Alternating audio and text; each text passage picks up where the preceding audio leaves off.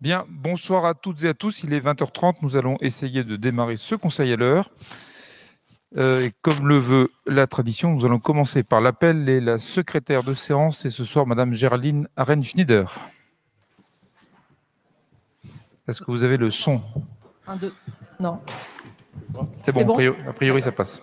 Merci, monsieur le maire. Delpierre Richard. Présent.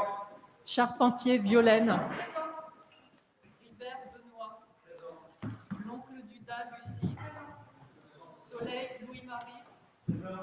Siadou Véronique. Présente. Constor Christophe. Présent. Bélier Martine. Jarige Jean-Louis. Téménides Aline. Collins Philippe. Présent. Majou Farilov. Présent. Bertin Gilles.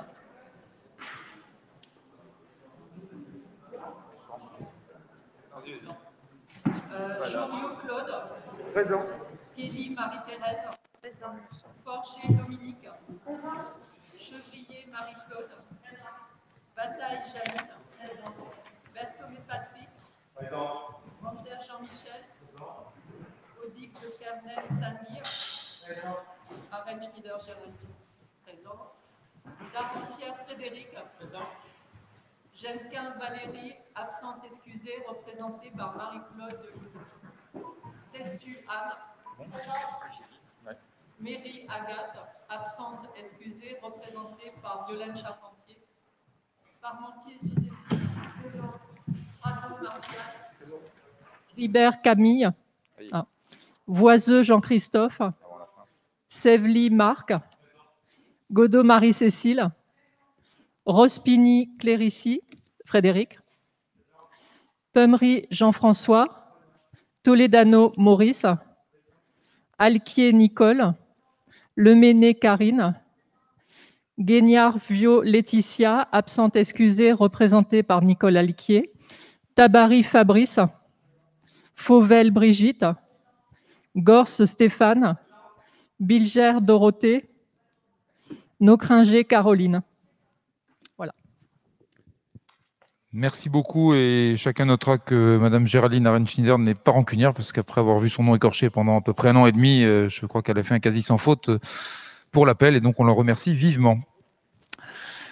Ces choses étant dites, euh, nous n'avons a priori pas d'ordre du jour, euh, pas de PV approuvé et nous allons passer au premier point de l'ordre du jour euh, qui porte sur le bilan de la concertation et l'arrêt du projet pour l'élaboration du règlement local de publicité. Je passe donc la parole à Madame Aline Temenides. Merci, merci Monsieur le maire et bonsoir à tous. Donc, euh, je viens vous faire l'acte 3 de notre règlement local de publicité. La première, l'acte 1, c'était la prescription de l'élaboration du RLP au conseil municipal du 16 décembre 2020. Le deuxième, c'était le débat sur les orientations générales du RLP au 1er juillet 2021. Et donc, comme disait Monsieur le maire, nous faisons ici le bilan de la concertation et l'arrêt du projet de RLP. Je ne vais pas revenir sur les objectifs qui avaient été définis dans les délibérations des conseils municipaux précédents. Euh, donc, je reviens sur le bilan de la concertation, puisque nous avions défini comme modalité de concertation la mise à disposition d'un dossier de concertation en mairie, la publication d'un article au minimum, et nous en avons eu deux, la possibilité de, de, de formuler des observations sur un registre papier mis à disposition du service urbanisme par courrier ou encore par mail, je reviendrai dessus, et l'organisation d'une réunion avec les commerçants et ou les associations les représentants. Donc la mise à disposition du dossier a été faite. L'article dans le mensuel, donc il y en a eu deux, l'un qui présentait la démarche générale et le second qui exposait le diagnostic et les enjeux du notre territoire. Ensuite, les observations, on n'a pas eu de contribution sur le registre lui-même et on a eu par contre deux courriers euh, de la société JC Deco qui est titulaire du contrat de mobilier urbain pour les deux communes historiques et de l'Union de la publicité extérieure. Euh, en parlant de l'organisation d'une réunion avec les commerçants, en fait, le 18 octobre 2021, s'est tenue une réunion spécifiquement en faveur des acteurs économiques de la commune, donc les commerçants, commerçants indépendants, représentants du centre commercial Westfield Parly 2. Et par ailleurs, une autre réunion s'est tenue le même jour avec l'association des habitants et amis du Chénet et euh, les professionnels de l'affichage. Dans les deux cas, le projet de RLP a été présenté pour une discussion avant son arrêt. Et donc, je vous propose, il convient donc de tirer le bilan de la concertation. Donc les, différents acteurs rencontrés ont adhéré au projet de RLP présenté. On a noté la simplicité du zonage proposé et la forte protection des secteurs résidentiels. Le projet de RLP est perçu comme équilibré et adapté au cadre de vie déjà préservé de la commune nouvelle. Et enfin, concernant les enseignes, euh, certaines demandes ont émergé et euh, ont été partiellement prises en compte dans le, projet qu'on vous présentera après. Donc, le bilan de, cette concertation est présenté de façon plus détaillée dans un bilan annexé et je peux répondre à vos questions, bien sûr. Donc, ça, c'est le premier point sur le bilan de la concertation. Deuxième point de la délibération, c'est donc euh, les, les, éléments essentiels de ce projet qu'il est proposé au conseil municipal d'arrêter ce soir. Donc, je le disais, un choix de zonage simple pour les zones de publicité, puisqu'on a trois zones, je reviendrai dessus, une zone de publicité 1, une 2 une 3, facile à retenir. Euh, concernant les publicités et les préenseignes, on, a défini, on propose des règles donc, pour tout dispositif, pour toutes les zones, à savoir l'obligation d'extinction des publicités lumineuses entre 23h et 7h, sauf pour les publicités qui sont sur les abris voyageurs, l'interdiction de publicités murales ou scellées au sol qui seraient installées côte à côte, et l'interdiction des publicités sur clôture et en toiture. Ceci permettant de renforcer et de maintenir l'identité territoriale. Ensuite, je vous disais qu'il y a trois zones de publicité. Donc la zone ZP1, c'est tout le territoire aggloméré, hors les deux zones qu'on va voir, ZP2 et ZP3 et ça correspond au secteur résidentiel sur lequel on encadre fortement la publicité. Euh, donc, il y a des possibilités limitées. La zone ZP2 couvre l'emprise du centre commercial Parly 2. On admet uniquement la publicité scellée sur les parkings extérieurs dans la limite d'une surface de 10 mètres, 10 euh, mètres carrés 50 et réduite à 8 mètres carrés si elle est numérique. Et enfin, la ZP3 correspond à des axes structurants et commerciaux du, territoire, donc la rue de Versailles et la route de Mantes, sur une section comprise entre la rue Louis Pelin et le carrefour avec la rue de Versailles. Ceci, donc, c'est les publicités et les préenseignes. Et enfin, donc, concernant les enseignes, des principes communs applicables à tous les dispositifs d'enseigne sont également définis, dont l'obligation d'extinction entre 23h et 7h, lorsque l'activité a cessé, bien sûr et euh, des particularités aussi pour le zone, des possibilités supplémentaires pour le centre commercial par l'I2, euh, sachant que l'obligation d'extinction nocturne s'appliquera à toutes les publicités et enseignes lumineuses qui seraient situées aussi dans les vitrines et les baies des locaux à usage commercial, ceci étant permis par la loi du 22 août 2021 qui porte lutte contre le dérèglement climatique et renforcement de la résilience face à ses effets. Et donc, à ce stade de la procédure, il est demandé au conseil municipal de tirer le bilan de la concertation et d'arrêter le projet de RLP. Ceci nous permettra ensuite de le transmettre aux partenaires institutionnels avant d'être soumis à enquête publique, et ce sera l'acte 4 en juin 2022 a priori. Merci beaucoup, Madame Tamides. Avant de donner la parole à qui souhaite la prendre, je voudrais saluer l'arrivée dans cette assemblée de Monsieur Bertin, qui pourra donc prendre part au vote dès cette délibération. Y a-t-il des souhaits d'intervention sur la présentation synthétique et néanmoins détaillée de Mme Temenides Pas de souhait d'intervention. Ça donc être très très clair. Euh, je vous propose donc de passer au vote sur cette délibération. Y a-t-il des votes contre? Des abstentions? Délibération adoptée à l'unanimité. Merci. Deuxième délibération, nous allons rentrer dans la saison des AELM. Donc, euh, normalement, vous commencez à être entraîné. Donc, autorisation d'engager l'équité montadée. Pour le budget principal exercice 2022, je passe la parole à Monsieur Soleil. Merci, Monsieur le maire. Bonsoir à tous. Donc, euh, les AELM, il s'agit de permettre à la ville de fonctionner en autorisant d'engager des dépenses d'investissement avant le vote du budget qui euh, précisera euh, tous les détails du budget. Donc, euh, ces autorisations d'engager des dépenses sont limitées en montant, sont limitées à 25% du montant des investissements de l'année précédente, déduite de tout ce qui est relatif à la dette et déduite aussi de tout ce qui est autorisation de programme, crédit de paiement, qui relève de la même logique que les, autorisations d'engagement dont on parle là.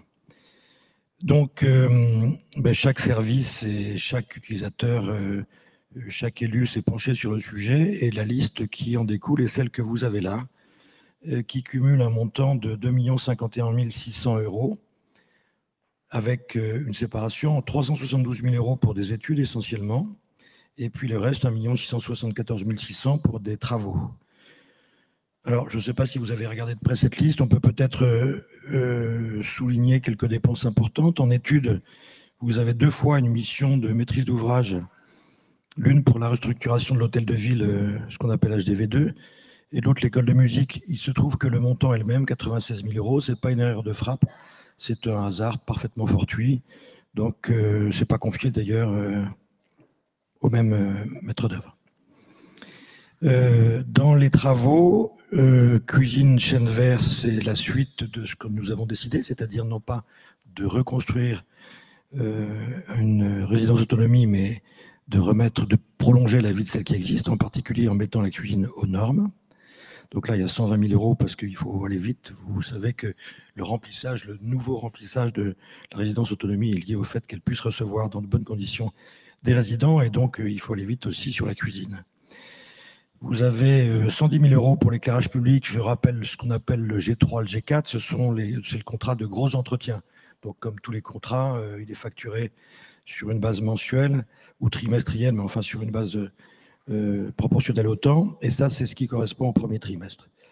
228 000 euros, c'est la poursuite des travaux d'aménagement du parvis du CTM, et en particulier les travaux sur la bâche de rétention des eaux pluviales. Euh, travaux de mobilité urbaine, 150 000 euros, ça n'est pas, euh, ça n'est pas la traduction du fait que le schéma directeur des mobilités urbaines est fixé, c'est simplement le fait qu'il y a un certain nombre de choses dont on sait qu'il faudra les faire en début d'année. Il s'agit là de travaux qui ne sont pas subventionnables, donc on peut engager avant d'avoir un accord sur un éventuel euh, subventionnement. Et 150 euh, 000 euros, c'est une liste euh, qui détaille un certain nombre de choses très diverses, mais toutes, toutes liées à, aux mobilités, aux déplacements.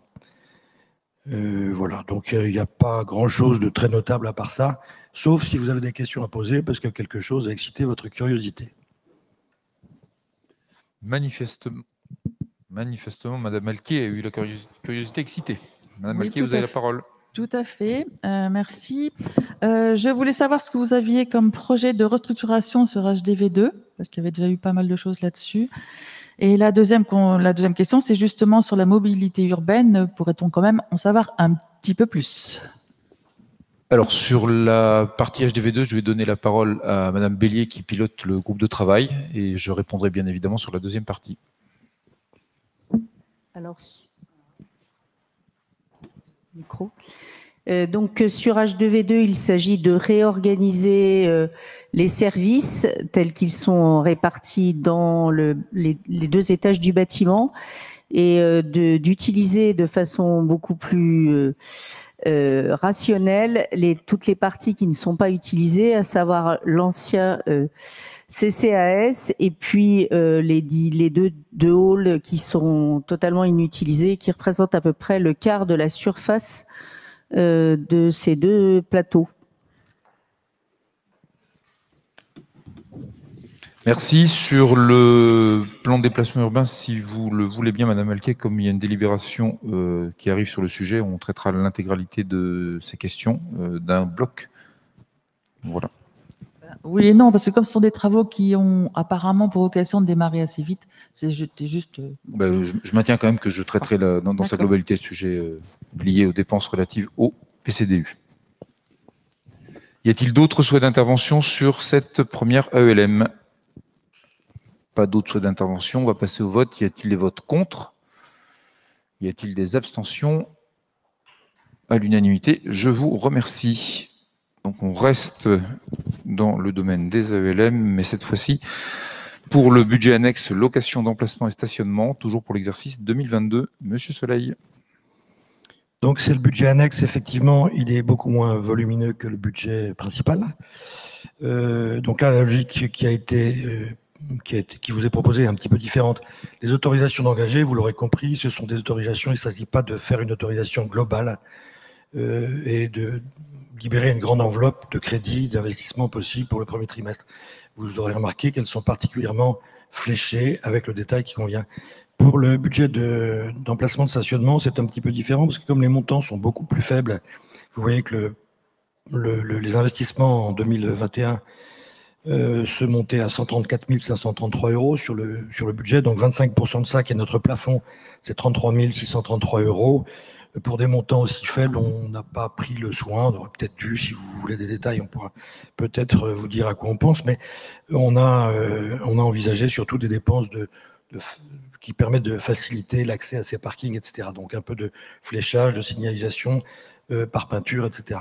Donc l'autorisation euh, d'investissement se monte à 33 000 euros, dont 1 000 euh, pour rembourser éventuellement des dépôts et cautionnements quand les gens ont loué des parkings à la ville, et 32 000 pour des petits travaux divers. Merci, Monsieur Soleil. Des souhaits d'intervention sur ce budget annexe. Monsieur Gorse, vous avez la parole. Oui, merci. Euh, simplement, lorsqu'on avait fait le budget l'an dernier de toute cette partie euh, location d'emplacement de parking, on avait bien vu qu'il y avait un énorme euh, souci d'équilibre financier. vous avez, je crois, évoqué récemment la réactivation de la, comment dire, du groupe de travail sur le sujet. Est-ce que vous pourriez nous en dire davantage, s'il vous plaît? Non. Je, ne peux pas parce qu'en fait, c'était. Non, mais euh, Monsieur Gore, c'était la semaine dernière. Et très honnêtement, depuis la, semaine dernière, je, n'ai pas beaucoup avancé sur le sujet. Nous préparions le budget. Les vacances de Noël vont être très propices à relancer ce genre de choses si vous êtes présents. Mais, mais toutefois, j'ai une bonne nouvelle pour vous. Euh, c'est que nous avons eu, d'une certaine façon, la surprise de recevoir un courrier de, de Monsieur Dussopt, qui est en charge au ministère chargé des comptes publics, et euh, l'État, dans sa grande générosité, a attribué aux communes euh, qui avaient eu, des, suite au Covid, des difficultés pour boucler leur budget de stationnement, des, indemnisations de cette perte, et nous en sommes bénéficiaires à hauteur, à hauteur de 114 950 euros qui viennent en déduction de la perte que nous avons constatée en 2020 sur l'exercice 21, dont je rappelle qu'elle était, une fois qu'on a balancé l'investissement et le fonctionnement, elle était de 161 000 euros. Donc euh, voilà, sans que nous n'ayons beaucoup pour le moment à travailler, mais nous allons quand même travailler. Euh, nous avons déjà eu des avancées conséquentes sur notre budget 2020, le placement de stationnement.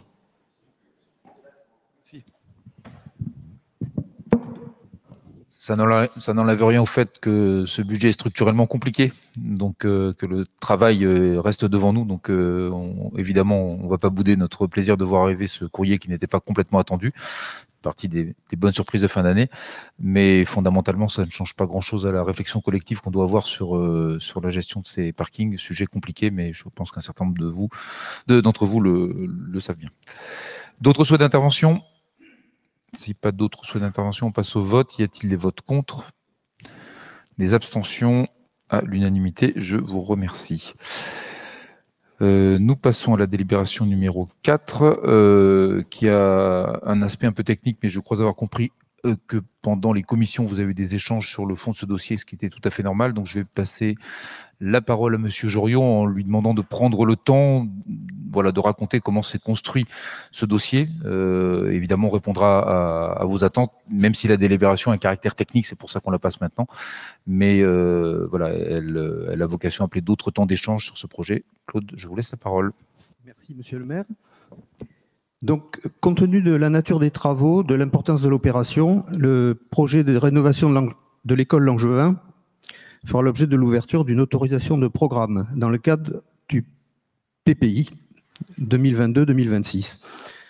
Donc ce PPI sera soumis au vote de l'Assemblée, mais qui comprendra aussi la rénovation de la piscine, le plan des mobilités urbaines en particulier. Alors concernant le projet de l'école Langevin, donc, euh, vous vous rappelez qu'on avait lancé au printemps une étude de faisabilité technique et économique pour euh, voir euh, la pertinence de réhabiliter le bâtiment ou de faire une démolition-reconstruction. Donc l'étude technique a conclu d'abord à la, qualité du, bâtiment, à sa solidité, et d'autre part à la, sa possibilité d'utiliser la technique qui avait été utilisée à l'époque de plancher poteau pour refaire une réhabilitation à peu près comme on, le souhaitait. Donc une, assez grande liberté de, mouvement euh, pour faire les aménagements qu'on pensait faire. Euh, l'étude euh, a pris en compte le fait que les bâtiments étaient en partie occupés seulement, puisque un tiers des bâtiments est occupé par la société NJ. Euh, l'étude a pris en compte euh, l'étude démographique, des perspectives d'évolution, et aussi donc la volonté de la commune de mutualiser ses équipements publics. Et donc, on a été amené à, conclure, compte tenu du nombre de classes qui étaient à prévoir, de la pertinence de regrouper les deux écoles, l'école donc Langevin et l'école maternelle Perrault, dans un bâtiment donc entièrement rénové. Euh, donc c'est cette solution qui a été, qui a été retenue, euh, étant entendu qu'il y aura bien entendu deux écoles avec deux directeurs, c'est comme ça qu'on l'envisage, euh, et donc avec une école élémentaire de 10 classes une école maternelle de 8 classes, sachant qu'aujourd'hui on est à 9 et 7, donc on se donnait un petit peu de, un petit peu de marge pour prévoir les évolutions potentielles. donc maintenant, nous avons lancé au mois de septembre un marché d'assistance à maîtrise d'ouvrage, donc euh, qui finit euh, aujourd'hui même. D'ailleurs, je crois que le délai c'est au 15 décembre. Euh, un premier travail donc de recueil des, besoins et donc l'étude de la fonctionnalité du bâtiment. Donc tous les services ont été consultés pour pour faire évoquer donc les, les besoins effectivement euh, à la fois du service scolaire, de la jeunesse, du périscolaire, la restauration. Et donc, euh, ce programme est en train d'être finalisé euh, de façon à pouvoir lancer, préparer et lancer au premier trimestre de l'année 2022 un marché de maîtrise d'œuvre, sachant que l'objectif, je crois qu'on en avait déjà, avait déjà évoqué, est donc une ouverture en 2025, à la rentrée 2025. Euh, ce qui nous conduit ce qui nous conduit à être amené donc à engager ces dépenses euh, en 2022, dépenses de maîtrise d'œuvre, qui sont estimées à 800 000 euros TTC. Euh, donc avec des premières phases qui vont être en, en, 2022 et qui vont continuer en 2023 et 2024.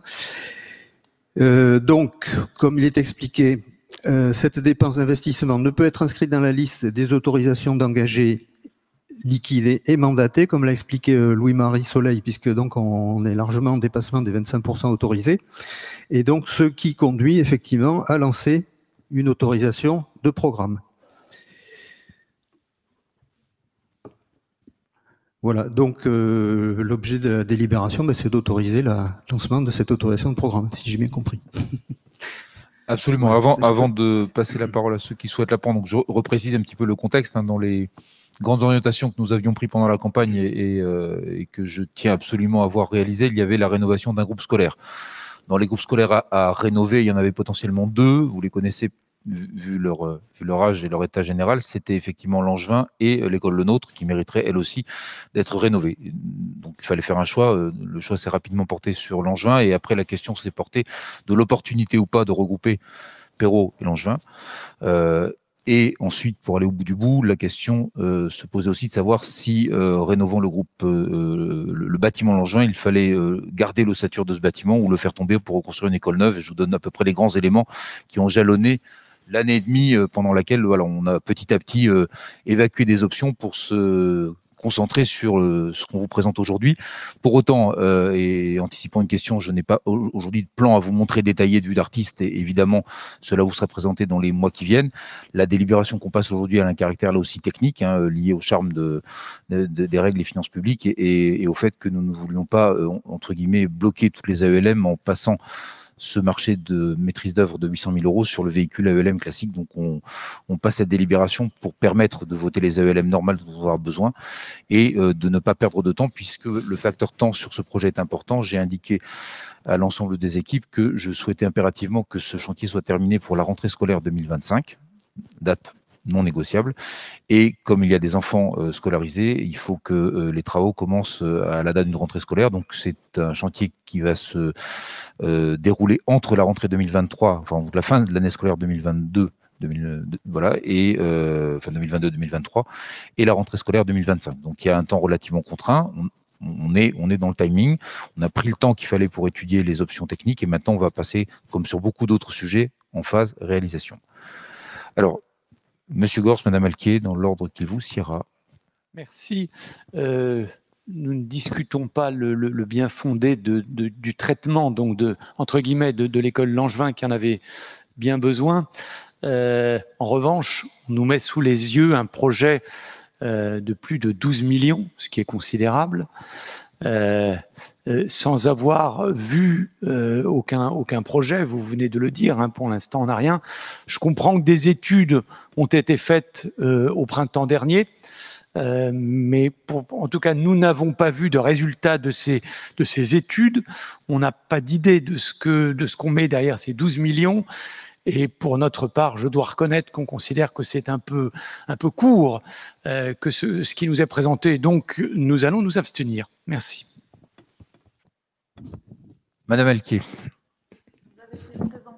en commission en fait un, un budget d'un million d'euros pour faire la maîtrise d'ouvrage de mémoire et on voit débarquer 12 millions pour le conseil. Donc, euh, on, on, est un petit peu surpris, effectivement. Et c'était comme dit, donc je rejoins complètement Monsieur Gors sur le contenu, euh, qui est quand même complètement, parce que 12 millions, ça tombe pas du ciel quand même. C'est un très gros projet, et donc ça méritait un petit peu d'explication. Et on nous avait promis d'ailleurs un dossier sur le sujet que nous n'avons pas eu. Alors, je passe la parole à Monsieur Soleil et je la reprendrai ensuite. Madame Malquier, je me sens un petit peu concerné par votre remarque parce que j'étais à cette commission à côté de vous. Euh, alors, je ne crois pas vous avoir promis de dossier. Je vous ai dit que si on avait des documents à vous fournir, on vous les fournirait. J'en ai parlé à Claude Joriot, qui m'a dit que ces documents anciens n'avaient pas beaucoup d'intérêt parce que ils sont déjà complètement dépassés. C'est-à-dire qu'on ne sait pas du tout ce qu'il va y avoir. Donc, on veut bien vous montrer des images d'une école qu'on va tirer de Paris Match, mais je pense pas que ça ait beaucoup d'intérêt pour faire avancer la discussion dans notre commune. Euh, la deuxième chose, c'est que vous dites que la maîtrise d'œuvre et pas la maîtrise d'ouvrage avait été évaluée à un million et qu'on n'avait rien donné derrière. Je suis désolé, j'avais parlé d'un chiffre de projet qui était de l'ordre de 12 millions, puisqu'on l'avait déjà 10, 10 millions, j'ai dû vous dire à l'époque, depuis on a rajouté des aléas. Donc bon, soit on n'assiste pas aux mêmes commissions, soit on n'entend pas les mêmes choses, mais je pense qu'on a été un petit peu plus précis que, vous voulez bien, que ce que vous voulez bien nous laisser entendre. Par ailleurs, si vous m'y autorisez, l'un comme l'autre, vous avez, euh, dans des mandatures passées, exercé d'importantes responsabilités dans cette commune, notamment sur les questions relatives aux finances. Euh, la rénovation d'un groupe scolaire, c'est pas un chiffre secret défense. Hein. Euh, si d'ailleurs rien n'a été fait sur la mandature précédente, c'est que ça coûtait cher. Donc quand on annonce, nous, qu'on va entamer la rénovation d'un groupe scolaire, c'est pas pour faire de la remise en peinture, c'est évidemment pour une opération importante. Alors j'entends, je partage comme vous le fait que 12 millions d'euros, c'est une somme extrêmement conséquente. Euh, ce sera sans doute l'investissement le plus important que nous porterons, en tout cas au titre des programmes nouveaux sur cette mandature. Il est emblématique parce que je crois qu'on envoie un message très fort euh, à l'importance qu'on accorde à l'enseignement et à l'enseignement public en l'occurrence puisqu'il est de notre responsabilité. Donc je partage avec vous le fait que le montant est important. J'entends euh, les remarques de, principe et, euh, je, les accepte même si fondamentalement ça ne change pas grand-chose. Les, les choix tels que je vous les ai rapidement exposés, vous les aviez en tête parce que l'état des groupes scolaires, on les, on les connaît tous. Et il était sûr d'une chose, c'est qu'on ne rénoverait pas deux groupes scolaires de cette importance sur cette mandature. Voilà, donc on pourra évidemment réouvrir les archives, mais je, partage ce que dit Monsieur Soleil. Bon, euh, pour nous, l'important maintenant, c'est de, euh, de vous éclairer sur euh, des choses qui correspondent à la réalité de ce qui va être fait. Euh, plus que des voilà des vues d'artistes que d'ailleurs nous n'avons pas à ce stade puisqu'on a des, plans masse. Sinon, évidemment, vous aurez déjà montré des choses. Mais euh, en l'occurrence, il n'y a rien à cacher. Les éléments qu'on pourra partager, je pense qu'on les aura dans les semaines qui viennent. Et euh, les commissions ad hoc seront évidemment réunies pour prendre le temps de partager ce qui a partagé. Monsieur Gors, puis Madame Elquet. J'entends votre remarque, mais si on n'a rien dans les cartons, d'où viennent les 12 millions? Quelles sont les règles de 3 et les, les, les bons abacs qui ont été utilisés pour déterminer ce montant Monsieur Joriot. Alors, effectivement. Vous m'entendez? Oui. euh, Donc, il faut savoir que le bâtiment dont on parle, c'est 4000 m2 de plancher, plus des aménagements extérieurs, plus de la maîtrise d'œuvre et aussi des aléas. Donc, on est parti, enfin, si on repart à l'envers de ces 12 millions, euh, on peut considérer environ euh, un chiffre entre 1500 et 2000 euros du mètre carré pour la rénovation, donc qui nous donne à peu près 8 millions pour la rénovation proprement dite du bâtiment, y compris une extension potentielle euh, du côté de la rue du docteur Villemain. Des aménagements extérieurs, puisque l'idée c'est de refaire les cours. En fait, déjà, on est, bien obligé de refaire les cours là où est NJ, mais de refaire les cours dans un esprit totalement différent et beaucoup moins minéral, donc pour lesquels on a compté un million et demi On a compté 1 million de maîtrises d'œuvre et environ 1 million d'aléas. Ça doit faire à peu près le compte. Madame Alquier. Bon, merci pour ces détails. Ça montre que quand même, il y a déjà des choses que vous avez en tête. Et il me semble que ce projet a été présenté au, à, à l'école, au conseil d'école. Donc, qu'a-t-il été présenté au conseil d'école Et ma deuxième question, c'est euh, qu'est-ce qui est prévu? Est-ce que vous pensez garder la communauté éducative? Qu'est-ce qui est prévu pour les, pour les familles? Euh, Parce que, bon, ouverture 2025, je pense qu'un un projet comme ça, ça prend bien deux ans. Donc, euh, voilà, les familles ont besoin de connaître maintenant un petit peu ce qui va se passer.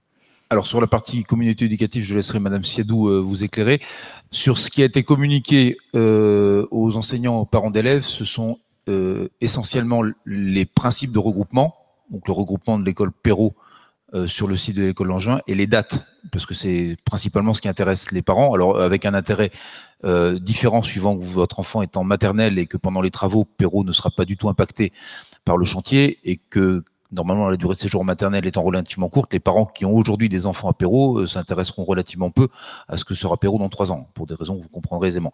Par contre, évidemment, les parents qui sont à Langevin, pour une partie d'entre eux, sont assez directement concernés parce que leurs enfants vont être relocalisés sur d'autres sites pendant les travaux et que peut-être que certains d'entre eux seront contents de profiter de Langevin New Look dans quelques années.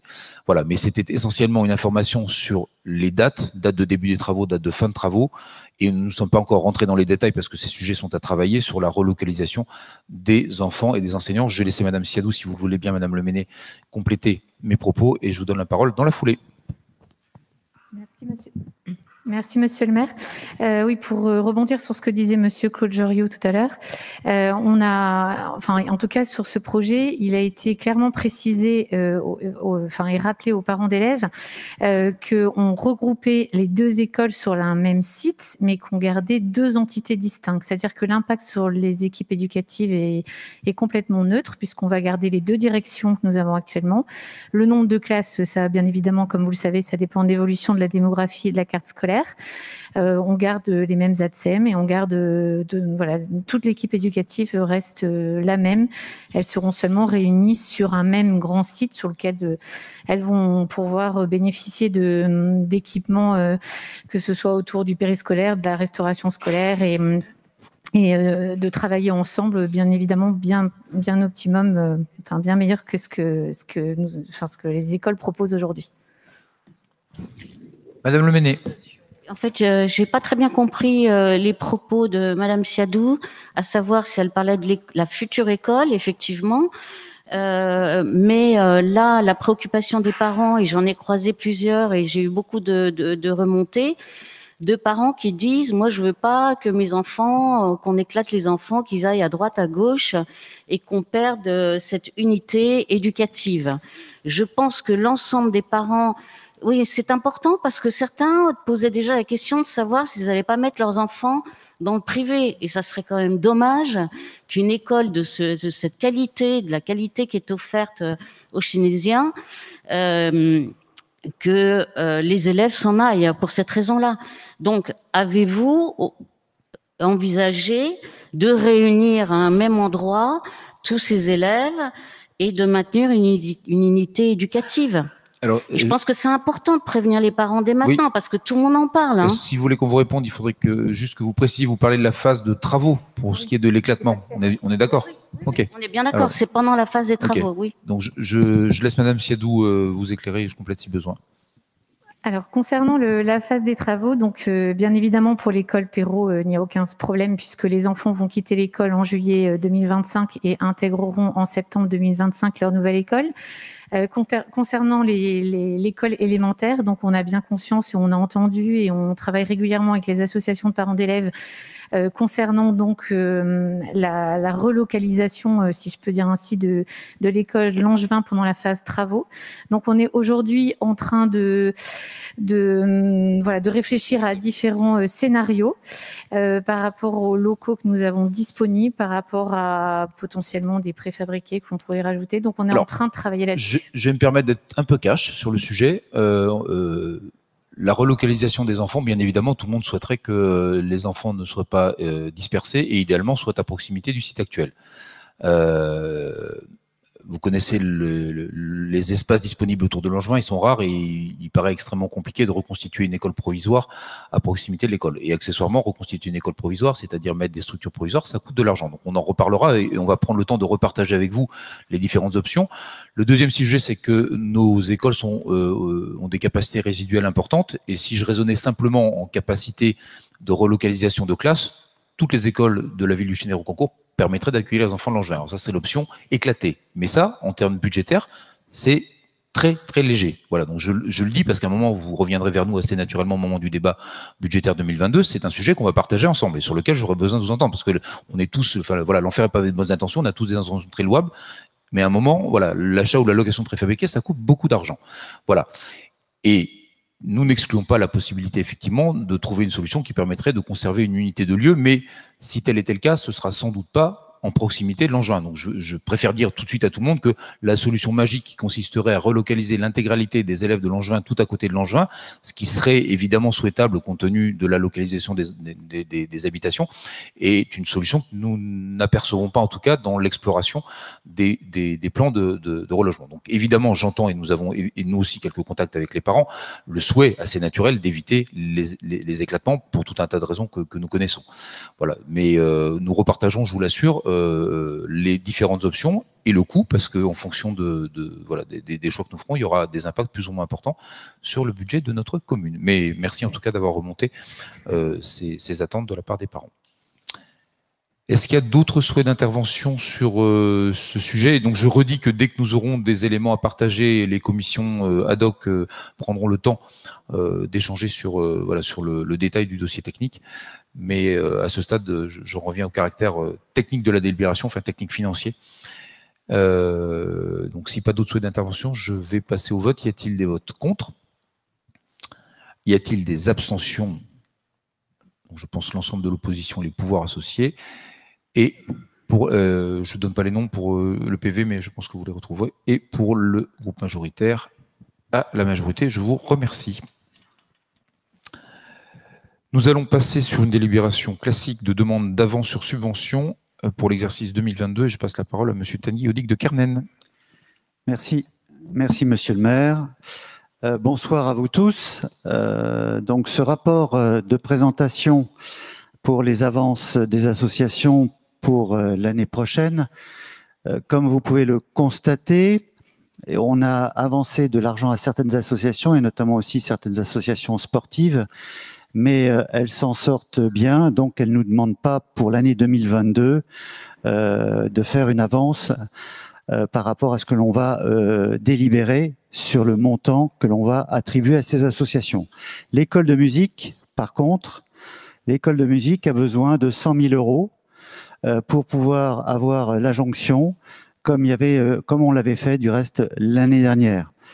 Donc cette délibération, elle est très simple on vous demande d'accorder euh, cette avance de subvention de 100 000 euros pour l'école de musique. Monsieur le maire. Merci, Monsieur Ducarnen. Y a-t-il des souhaits d'intervention sur cette demande relativement classique sur cette association? Pas de souhait d'intervention. Y a-t-il des votes contre Des abstentions à l'unanimité? Merci pour eux qui assurent un travail de grande qualité. Euh, nous allons repasser dans le petit monde des finances avec la révision des tarifs des services publics locaux. Je passe la parole à Monsieur Soleil. Donc, euh, je pense qu'il est utile de vous rappeler les, les trois axes principaux de notre politique tarifaire. Euh, premièrement, nous avons la volonté d'adosser l'évolution des tarifs à celle des coûts donc de réviser régulièrement et en particulier chaque année euh, les tarifs euh, des services que nous proposons aux usagers. Deuxièmement, nous avons un souci de préserver l'équilibre de notre section de fonctionnement ou son résultat, c'est-à-dire en l'occurrence euh, de faciliter les transferts vers la section d'investissement pour l'autofinancement de nos investissements. Et troisièmement, nous avons un souci, sachant que ces trois soucis ne sont pas hiérarchisés les uns par rapport aux autres, nous avons un souci de solidarité de façon à éviter de faire supporter aux, plus démunis des efforts à des époques où ça leur serait particulièrement euh, délicat. Donc, euh, ces choses-là étant répétées, euh, nous avons à nous préoccuper des évolutions des tarifs publics à partir du 1er janvier 2022. Et nous avons en particulier un cas euh, spécifique qui ne se produira pas tous les ans, qui est l'augmentation des tarifications de restauration scolaire, puisque suite à la demande des, parents, des usagers, nous avons décidé de demander à notre prestataire d'augmenter sensiblement la qualité des repas, goûters et autres qui sont servis aux enfants. ce qui a un coût pour la ville qui était évalué à peu près à 100 000 euros par an. Donc nous avons décidé, nous vous proposons de faire supporter ces 100 000 euros par les usagers, euh, mais exclusivement ce, surcoût, c'est-à-dire que tout ce qui est surcoût usuel lié à l'augmentation des coûts de la main-d'œuvre, à l'augmentation du coût des énergies, à l'amortissement des investissements que nous faisons pour euh, améliorer la restauration scolaire, nous ne l'avons pas cumulé avec la prise en, charge, euh, je dirais à l'euro l'euro, de l'accroissement de, la de la prestation de restauration scolaire. Donc après en chiffres, ben, ça se traduit pour euh, la restauration scolaire pure par une augmentation des tarifs de 13,5% qui s'applique équivalemment sur l'intégralité de la grille. Vous savez qu'on a une grille spécifique pour la restauration scolaire euh, qui est donc euh, totalement impacté. Alors pour votre information, pour le, les niveaux bas de la grille, par exemple le troisième à partir du bas, cette augmentation de 13,5% se traduira par une augmentation de dépenses annuelles pour un enfant dans une famille de 44 euros. Si vous prenez, euh, si vous prenez les tarifs les plus hauts, on arrive à 140, 150 euros pour le, le, les, les, tranches plafond. Euh, la restauration scolaire n'impacte pas que les services de cantine euh, scolaire, mais aussi euh, une partie de tout ce qui est euh, ce qu'on appelle les ALSH, l'accueil de loisirs, sans hébergement. C'est-à-dire qu'il y a les accueils de loisirs, l'accueil du matin, l'accueil du soir, les, et puis un certain nombre d'activités annexes. Alors pour chacune d'entre elles, on a pris en compte d'une part le, je dirais la, répercussion des tarifs renégocier avec notre prestataire de, restauration scolaire, et puisque ces tarifs-là sont moins impactés que la restauration elle-même, et on a adjoint les 2% ou 3%, euh, ça, enfin 3% je crois, 3% de, hausse du coût de la vie, qui sont euh, du coût de la vie de 3%, qui est à peu près indexé sur quelque chose qui prend en compte l'inflation, la GVT, et l'accroissement, le, renchérissement du coût des énergies. Donc si vous faites une grille vous avez même un, résumé, ce qui vous fait une grille euh, euh, un petit peu complexe. Donc la restauration scolaire, je résume et je répète, 13,5%. Euh, les, les, l'accueil de loisirs, journée complète, plus 5,5%. Euh, c'est toujours selon le même principe. Hein. l'accueil de loisirs en matinée seule, plus 3,87%. L'accueil de loisirs en après-midi seul avec un goûter, c'est plus 3,63%. L'accueil de loisirs vacances, 5,5%. L'accueil du soir alimentaire, 2% parce qu'il n'y a pas de goûter, il est fourni par les parents. L'accueil du soir maternel, il y a un goûter, 5,35%. Euh, l'accueil du matin alimentaire au maternel, il n'y a pas non plus de prestations alimentaires, donc 2%. On a rajouté à ça les activités sportives qui n'ont, vous l'aurez compris, rien à voir avec la restauration scolaire. On ne sert pas encore de goûter aux enfants euh, à la piscine. Enfin, Jean-Christophe Voiseux va peut-être nous le demander un jour, on ne sait pas. Euh, donc, pour les activités sportives aquatiques, nous avons pris en compte une augmentation de 3% qui tient un petit peu compte de l'accroissement dont vous savez qu'il est actuellement extrêmement important, mais ça sera plus impactant sur 2022. Donc nous avons prévu une augmentation, enfin nous vous proposons une, augmentation de 3% sur l'ensemble de la grille tarifaire liée aux activités aquatiques. Et euh, on vous donne un détail qui, je crois, intéresse tout le monde, c'est que si on applique cette grille, si le Conseil est d'accord pour appliquer cette grille, ça représentera un produit supplémentaire par an de 150 000 euros. Voilà. Ce qui donne un peu la mesure de l'importance de la révision des tarifs quand même. Merci. Y a-t-il des souhaits d'intervention sur ce sujet? Je vois deux mains se lever, Madame Bilger, puis Madame Fauvel. Par ordre d'apparition des mains, hein, je précise. Bonsoir à tous. Euh, oui, je me permets d'intervenir euh, donc concernant l'augmentation de la restauration scolaire. Alors, je comprends parfaitement le souci euh, budgétaire. D'autant plus que mon ami Stéphane Gors euh, est très sensible à ce genre de choses. Par contre, euh, deux choses me gênent.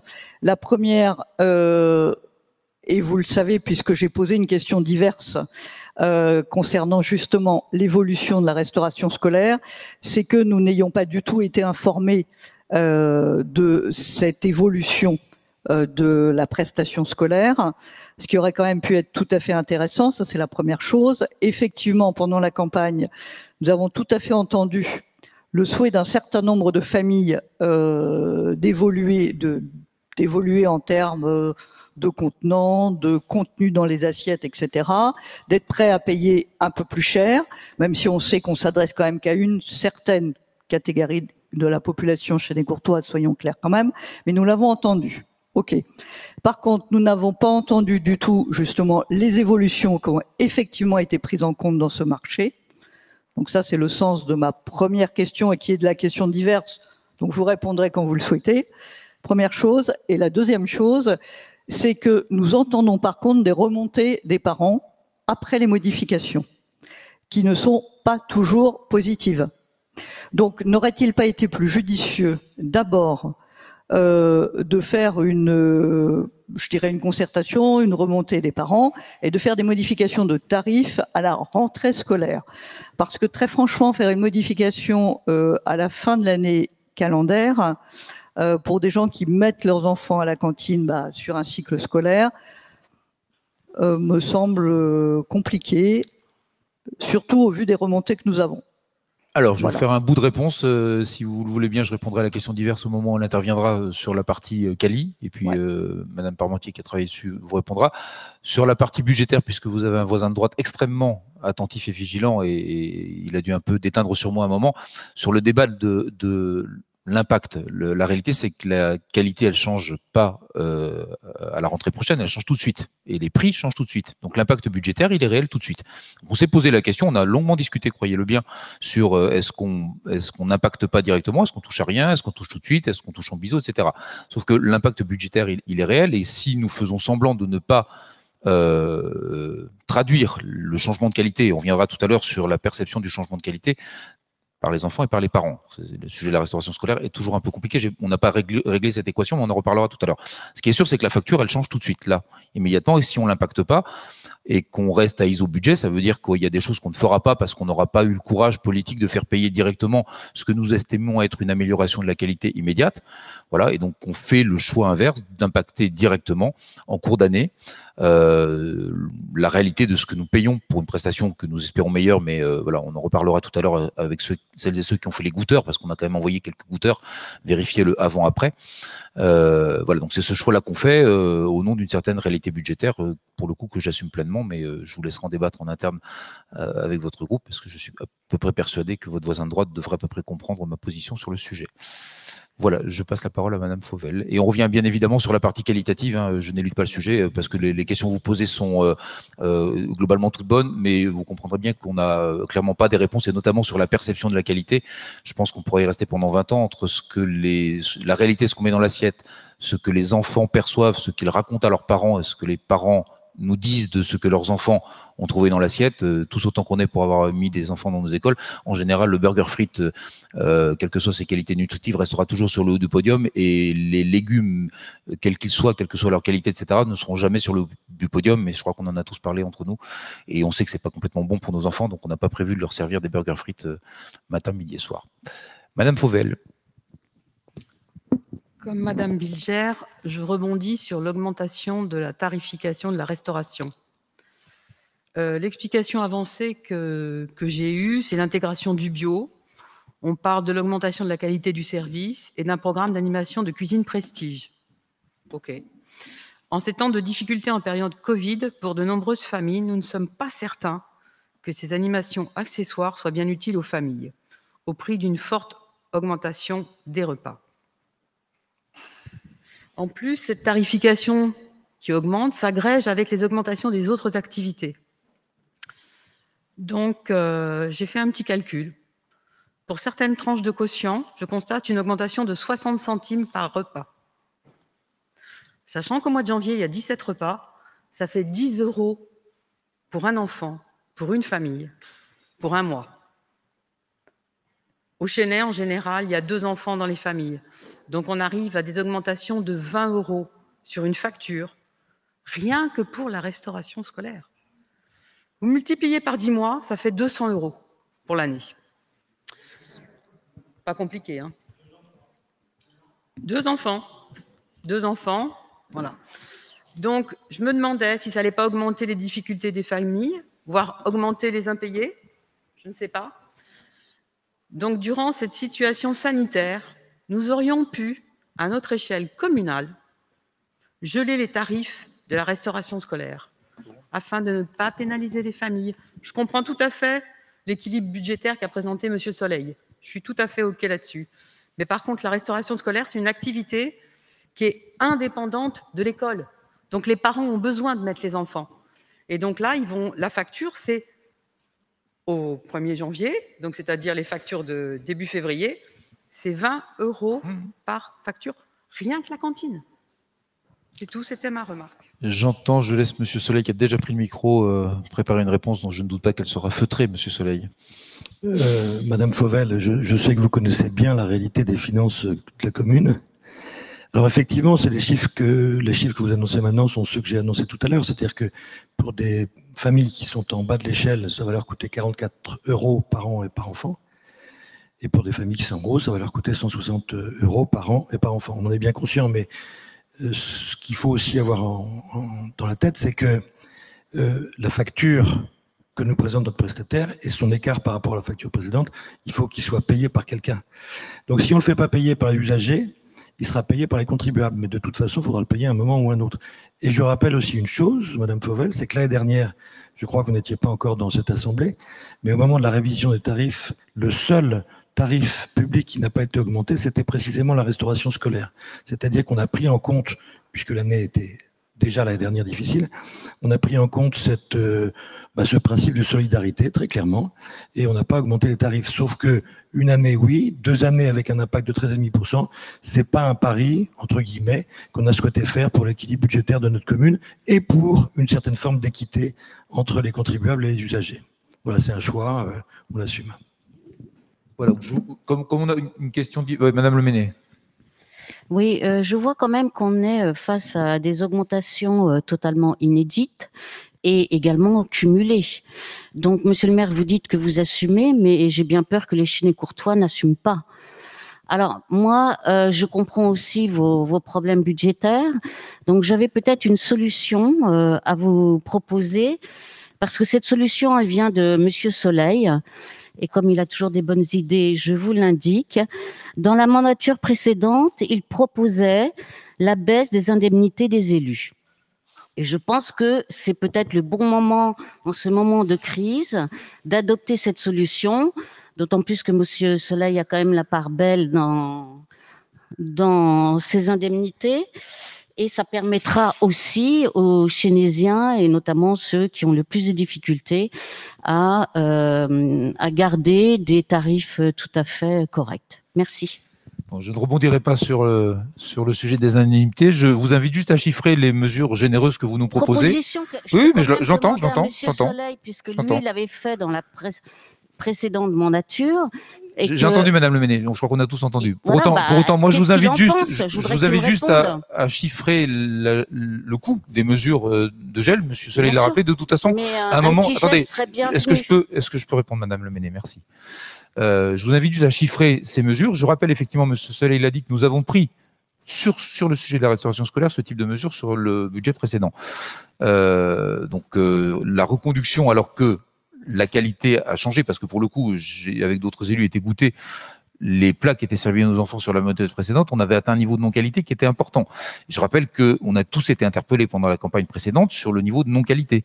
Voilà. Euh, je pense qu'on l'a tous entendu. Donc à un moment, soit on fait semblant de faire de la qualité, soit on en fait un peu, et je ne connais pas d'univers sur lequel quand on fait un saut qualitatif, c'est ISO en termes de coût, ça ne marche pas comme ça, en tout cas pas dans la restauration. Et donc à un moment, on va tous être confrontés à des choix budgétaires. Donc j'entends vos remarques, je vous invite à les garder en stock pour le moment où on débattra de l'orientation budgétaire 2022, c'est-à-dire dans quelques semaines, et on verra euh, quels sont les arbitrages qu'on prendra. Nous, en tout cas, on a fait le choix de rehausser la qualité. Et donc, je, Madame Parmentier, tout à l'heure, euh, lors de la question diverse, reviendra sur la, manière et le cahier des charges qu'on a, euh, soumis aux prestataires pour avoir un vrai niveau de qualité supplémentaire. Et il y a évidemment un impact sur les coûts. Et, et comme la qualité, le changement du marché, on n'a pas attendu la rentrée scolaire pour le mettre en œuvre, eh bien, euh, le sujet de l'impact budgétaire, il arrive directement. Voilà. Après, vous êtes dans votre rôle de nous proposer d'être généreux, mais je rappelle que c'est notre budget c'est le budget de toute la commune et vous en êtes euh, aussi responsable que nous à un moment que nous avons à, gérer. Donc, en tout cas, euh, je, maintiens que j'assume des positions euh, assez claires sur le sujet. On, a écouté les demandes en termes d'amélioration de la qualité et aujourd'hui, c'est normal qu'on les répercute. Et je pense que c'est plus naturel de les répercuter sur les, les utilisateurs que sur l'ensemble des contribuables. Madame Alquier. Oui, s'il vous plaît. Oui, je voulais quand même préciser qu'il n'a jamais été fait de choix de non-qualité sur la restauration scolaire, parce que vous pourriez penser ça, donc ce qui n'est évidemment euh, impossible. Par contre, juste, euh, juste ce qu'il y avait dans l'assiette, ce qu'il y avait dans l'assiette, c'était juste de la non-qualité. Hein. Alors, c'est une question en général, effectivement, de négociation, forcément au, moment du, marché, mais on ne s'attend pas à avoir des, des plats qui soient immangeables, excusez-moi. Par, euh, par contre, c'est euh, le, voilà, on peut pas laisser dire qu'il y avait la non-qualité. Par contre, il y a une certaine vigilance à obtenir parce qu'en général, on a vu, enfin, c'est comme ça dans tous les établissements. Euh, il n'y a pas que la ville de Chênay. En général, les marchés, au début du marché, il y a une qualité qui arrive et on est en général assez content et il y a une espèce de courbe de Gauss à l'envers ou à la fin du marché, effectivement, on voit bien qu'à un moment donné, euh, voilà, donc il faut rester vigilant. Donc c'est plutôt ça l'effet qu'il faut euh, et pas non et voilà, c'est ce que je voulais quand même bien marquer je, partage sur le groupe de Gauss et sur le fait qu'évidemment, euh, en début de marché, en général, les prestataires sont plus attentifs. Donc, on, connaît le cycle, mais honnêtement, même si je, veux bien vous entendre sur le fait qu'on n'avait pas commandé de la non-qualité, de fait, à la fin du dernier marché, on est arrivé à un très bas niveau de qualité. Monsieur Soleil, d'un mot. Oui, puisque, puisque très amicalement, Madame Le m'a mis directement en cause, je lui dirais avec humour que je, lui dis que d'abord la citation n'était pas exacte et qu'en plus elle avait un contexte. Je suis tout à fait prêt à revenir sur les éléments de contexte pour Madame Lemenet qui manifestement n'a pas très bien compris ce que j'avais dit à l'époque. Mais je pense que pour la qualité de nos débats et pour le respect de cette assemblée, cette remarque ne mérite pas aujourd'hui et ce soir de réponse de ma part. Sur ces paroles euh, et pour euh, garder un peu de un peu de biscuit pour la question diverse, euh, je vais euh, vous inviter maintenant, si vous en êtes d'accord, à passer au vote. Y a-t-il des votes contre ces révisions tarifaires? Donc 7 votes contre. Y a-t-il des abstentions? Et le reste de l'Assemblée donc est à la majorité. Je vous en remercie. Les votes contre étant euh, le groupe de Madame Alquier. Merci. Nous restons dans les révisions euh, des redevances d'occupation euh, pour les locations de salles municipales. Je passe la parole à Madame Temenides. Merci. Alors, je vais reprendre euh, un des trois piliers de Louis-Marie Soleil tout à l'heure, qui a dit qu'il s'agissait, il était important d'adosser l'évolution des tarifs à l'évolution des coûts. L'objectif de cette délibération, c'est de vous présenter pour les quatre salles euh, qui sont proposées par la commune, qui sont offertes à la location grand public. Donc la salle des fêtes euh, au 52 rue de Versailles, le clubhouse piscine au 7 rue Potier, la villa Chèvreloup 57 route de Saint-Germain et la maison des associations euh, place de l'hôtel de ville à Rocancourt. donc sur ces quatre salles, en fait, les tarifs dataient de 2017 et 2018 et n'avaient pas été révisés depuis. Donc l'objectif de la délibération, c'est de vous proposer une augmentation à l'inflation alors cumulé pour chacune des années euh, écoulées, ce qui conduit à une augmentation uniforme de 5,5% à l'ensemble de la grille tarifaire. C'est C'est. Y a-t-il des souhaits d'intervention sur cette proposition de révision des tarifs de location de salle? A priori, vous, on les a achevés sur la délit précédente. Ok. Euh, pas de souhait d'intervention. Y a-t-il des votes contre? Des abstentions à l'unanimité. Monsieur Soleil, vous avez Mme Téménides pour voir comment on, traite un sujet de révision tarifaire euh, sans faire de vagues. Bien, je fais le malin, mais la délibération qui suit euh, devrait susciter quelques débats. Euh, nous allons passer donc sur une délibération concernant l'adoption du schéma directeur des mobilités urbaines. À la question, monsieur le maire, euh, que vient faire cette délibération Vous nous en, nous en avez jamais parlé. Euh, je vous répondrai que jusqu'à il y a 15 jours, cette délibération n'était pas à l'agenda. Donc c'est une délibération qui, euh, comme un certain nombre d'autres délibérations ce soir, a pour origine un caractère technique, c'est-à-dire que c'est une délibération qui est nécessaire pour aller chercher les meilleurs taux de subvention auprès des collectivités territoriales qui pourraient être amenées à nous accompagner sur le financement d'un certain nombre d'infrastructures de, réalisations euh, liées aux, euh, aux, travaux envisagés dans le cadre du PCDU et donc dans tous les documents que vous avez eus depuis le mois de septembre. Euh, pour autant, compte tenu du caractère assez politique de ce dossier et de la nature des échanges qui ont eu lieu depuis le mois de septembre. Nous sommes ici en décembre, ça fait maintenant trois mois qu'un certain nombre de, temps d'échanges ont lieu, notamment dans les conseils de quartier je ne pouvais pas laisser passer l'occasion de redonner à cette délibération le caractère politique qu'elle doit avoir. Euh, pour rappeler à certains et à certaines qu'en dépit des apparences, euh, bah, ce temps de concertation, il a été utile. On n'a pas été dans du simulacre de démocratie. On a entendu des choses, on a amendé des choses, sans renoncer à l'essence de ce projet. Euh, mais que bien évidemment la délibération elle a ce caractère technique parce que vous le verrez tout à l'heure dans le calendrier, euh, nous devons la passer maintenant si nous voulons être au rendez-vous du passage dans un certain nombre d'instances, notamment euh, au niveau de la région Île-de-France, d'où le passage au mois de décembre de cette délibération. Mais elle va nous permettre aussi, elle va me permettre de faire un point avec vous sur ce qui est remonté, et, vous verrez que nous avons entendu un certain nombre de critiques, les réponses que nous entendons y apporter. Euh, et je redis qu'à l'issue de ce vote, euh, ce schéma directeur ne va pas graver dans le marbre l'intégralité de, tout ce que nous allons faire. Il va, renforcer la volonté politique que nous avons euh, de donner une meilleure place aux modes actifs, notamment.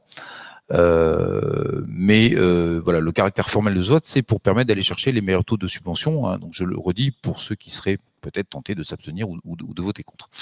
Euh, je vais demander donc euh, rapidement donc de euh, projeter les slides qui étaient associés à cette délibération. Je reviens très rapidement.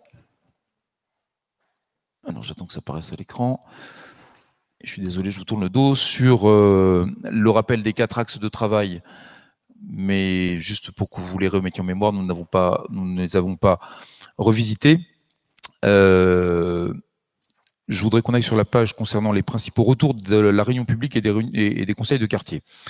Pour rappeler, donc, nous avons une participation qu'on pourra qualifier d'active de la population, des débats animés, mais une vraie qualité d'écoute et donc quelque part derrière capacité à construire.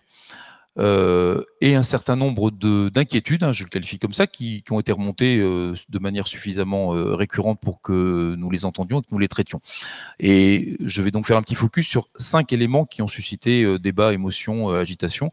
Le premier concernait la représentativité des comptages, notamment autour du, du projet de l'avenue Charles de Gaulle. Le deuxième concernait l'aménagement cyclable envisagé sur l'avenue Charles de Gaulle Est, donc avec le passage de deux fois deux voies, deux fois une voie de circulation pour les véhicules motorisés afin de permettre des aménagements cyclables de qualité. Euh, le nombre jugé euh, excessif de plateaux surélevés, notamment sur la rue de Versailles, la circulation dans le quartier Saint-Antoine et le principe des doubles sens cyclables. Donc ce sont des éléments sur lesquels on a eu euh, voilà, de, des remontées que nous avons entendues, que vous avez entendues, puisque je rappelle que dans l'intégralité des réunions que nous avons tenues, l'opposition était en tout cas invitée à être présente, et je crois qu'elle a été présente, et je l'espère, attentive à, à, ce qui s'est dit. Euh, sur la partie euh, représentativité des comptages, euh, il y avait des interrogations fortes euh, émises par un certain nombre d'entre vous sur euh, la validité des hypothèses retenues par le cabinet Aegis pour faire ces simulations et faire ces propositions, notamment sur l'avenue Charles de Gaulle. Donc nous avons à notre disposition, est-ce qu'on peut passer à la slide qui suit? Merci beaucoup. Euh, nous avons euh, pris le temps euh, sur, sur 15 jours avec voilà, les, les outils techniques qui sont aujourd'hui à notre disposition pour objectiver les hypothèses prise par Aegis et euh, donc le, le, comptage qui a été refait euh, sur euh, ces axes en heure de pointe et en heure creuse, vous l'avez sur les, les petites les petits histogrammes orange.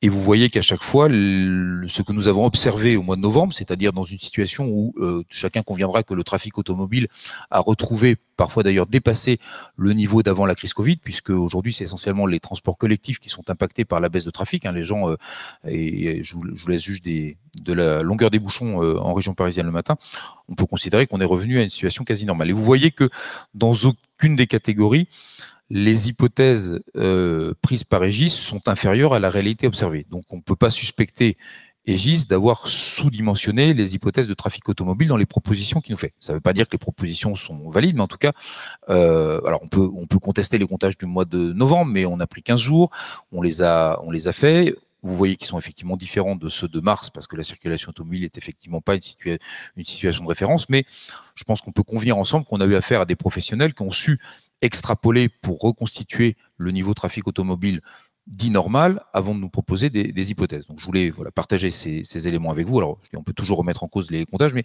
nous avons repris le temps de faire ces comptages pour euh, voilà, objectiver la situation et essayer de, voilà, de rassurer ceux qui avaient besoin de l'être sur, sur ce sujet. Sur l'avenue Charles de Gaulle, euh, là aussi, on a évidemment été très attentif aux, euh, inquiétudes remontées par beaucoup de riverains, imaginant que ces aménagements proposeraient, enfin, provoqueraient une embolie du trafic.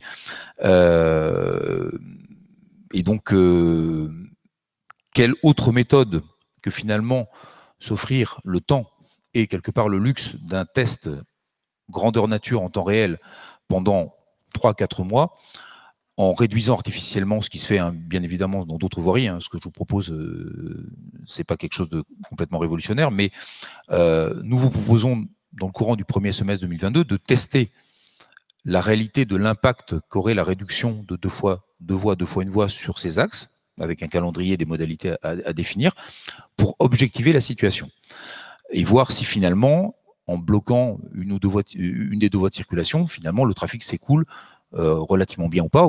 Auquel cas, s'il s'avère que ce test est concluant, nous vous proposerons de procéder aux aménagements tels que présentés dans l'étude EGIS. Et s'il ne s'avérait pas concluant, et c'est là que je veux saluer le travail des, équipes qui ont tenu compte des remarques, nous saurons quand même proposer un aménagement de pistes cyclables qui préserverait la circulation deux fois deux voies sur cette artère. Alors, par quelle opération de baguette magique Elle est relativement simple, c'est qu'on travaillerait sur la réduction du terre-plat central qui est relativement large. Pour autant, et je le redis tout de suite, ce sera moins bien en termes de sécurité pour les cyclistes et ce sera plus cher en termes d'aménagement. Je veux que chacun en ait conscience, mais c'est techniquement faisable et c'est important. Il y a des endroits où on n'a pas de solution technique alternative. Là, en l'occurrence, à l'issue du test, on pourra maintenir le deux fois deux voies en circulation automobile s'il s'avère que euh, voilà, la, réduction à deux fois une voie provoquerait des embouteillages absolument terribles dans la ville.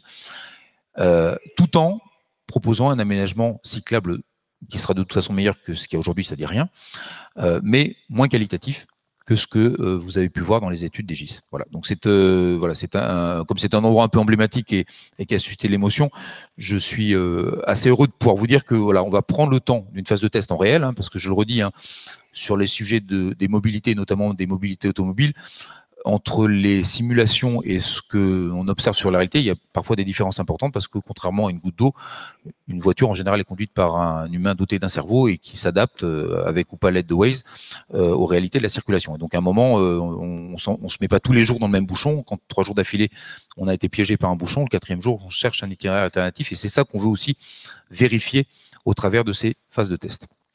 Voilà ce que je pouvais apporter comme éclairage sur Charles de Gaulle. Sur la question des plateaux surélevés, trop nombreux, je veux là aussi redire euh, euh, qu'Egis a apporté à un moment une réponse technique réglementaire à l'équation qu'on lui demandait de résoudre. Et donc le nombre extrêmement important de plateaux surélevés, c'était la réponse technique réglementaire à la sécurisation maximum des très nombreuses traversées routières sur la rue de Versailles. Alors évidemment, après, ça chiffre, hein, parce qu'un passage surélevé, ça coûte très cher, et ça donne l'impression qu'on va faire du gymkhana tout, tout, le long de l'avenue. Donc on a entendu ces remarques, et donc effectivement, on a euh, imaginé d'autres aménagements, sans doute moins performants, clairement moins coûteux, et vous le verrez tout à l'heure dans le devis estimatif du euh, schéma directeur tel, tel qu'on va vous le présenter, ça permet de réduire la facture. Mais euh, on n'a pas eu affaire à des fous. Hein. Et GIS, à un moment, il travaille, comme tous les cabinets qui nous accompagnent là-dessus, avec des règles, des contraintes réglementaires et des aménagements types, dont effectivement certains sont extrêmement coûteux.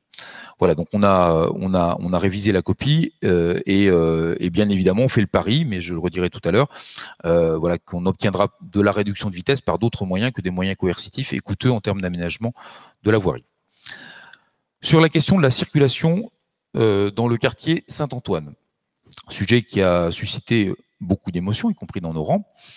Euh, et pourtant, ce n'est pas le sujet le plus coûteux, puisqu'il s'agit de convenir de sens de circulation. Hein. on n'est paradoxalement pas sur la partie la plus, euh, la plus compliquée à gérer euh, techniquement et financièrement, mais c'est sans doute dans ces parties-là que le diable se cache et que le consensus est le plus difficile à obtenir.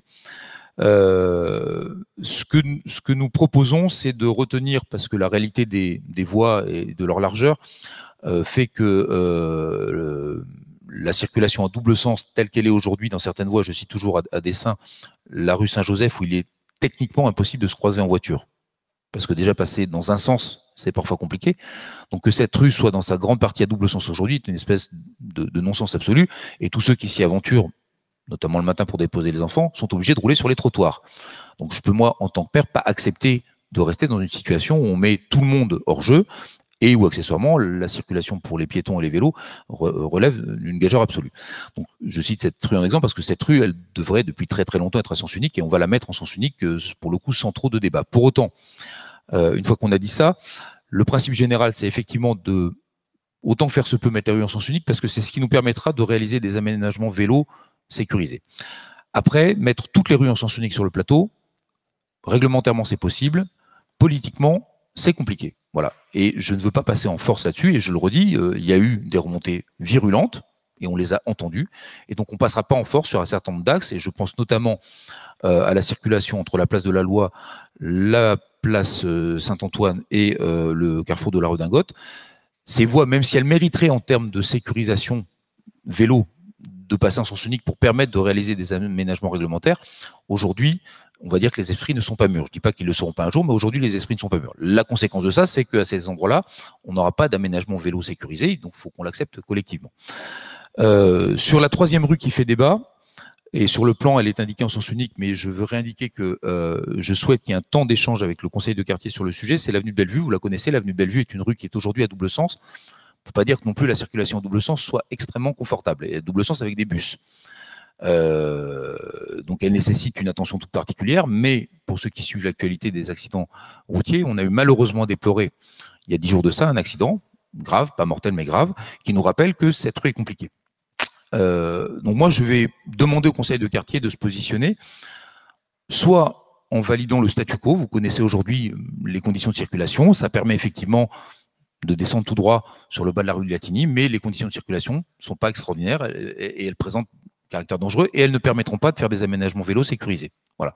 Soit on part sur le principe d'une rue qu'on met à sens unique plutôt en sens montant pour permettre des aménagements vélos, mais ça veut dire qu'effectivement, il faudra prendre d'autres itinéraires pour descendre de la place Saint-Antoine jusqu'au bas de la rue de Galtini.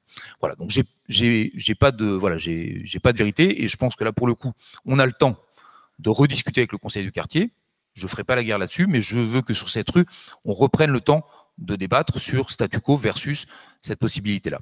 Voilà, donc c'est pour vous dire que sur ces, ces, grands axes qui ont provoqué du débat, etc., et qu'on a entendu, on n'ira pas marche forcée. Pour le reste de, du plateau, de manière générale, le principe, alors pareil, hein, le principe, on n'a pas été très loin pour s'en inspirer, dans un quartier voisin de Versailles, où les rues sont assez perpendiculaires, euh, de l'autre côté, la rue du Colonel de Bange, ce principe de circulation est en place depuis 10 ans. Ce qui n'était pas le cas il, y a, il y, a, un certain temps. Et pour ceux qui circulent dans ce quartier, la circulation auto relativement fluide et quasiment toutes les rues sont équipées d'aménagements vélos de nature variable, euh, mais qui rappellent aux automobilistes que dans ces quartiers, il peut y avoir des vélos, il y en a, et qu'il y a une trace au sol qui permet d'être attentif au respect de tous les modes, et pour autant qu'une des rues n'est interdite à la circulation automobile. Donc c'est un petit peu sur ce modèle qu'on va s'inspirer pour essayer de permettre d'avoir une place effective visible pour le vélo dans ce secteur qui nous permettra, je le rappelle, d'être connecté à la ville voisine qui, elle, dispose d'infrastructures vélo de bonne qualité. C'était aussi un peu la commande politique.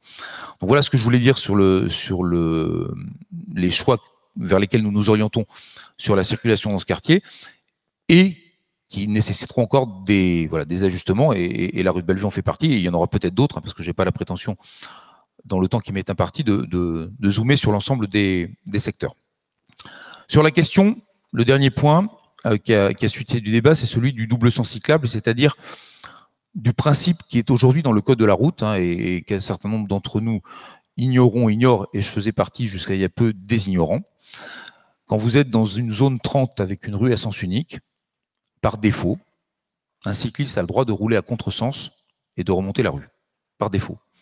Voilà. Alors, ce n'était pas le cas dans le code de la route il y a un certain temps, en tout cas quand j'ai passé mon permis, ce n'était pas la règle, mais aujourd'hui c'est la règle. Donc s'il y a un accident et que le maire n'a pas pris des mesures de précaution, euh, ben, l'automobiliste est son tort. Voilà. Et, euh, et, donc ce sujet est, est sur la table.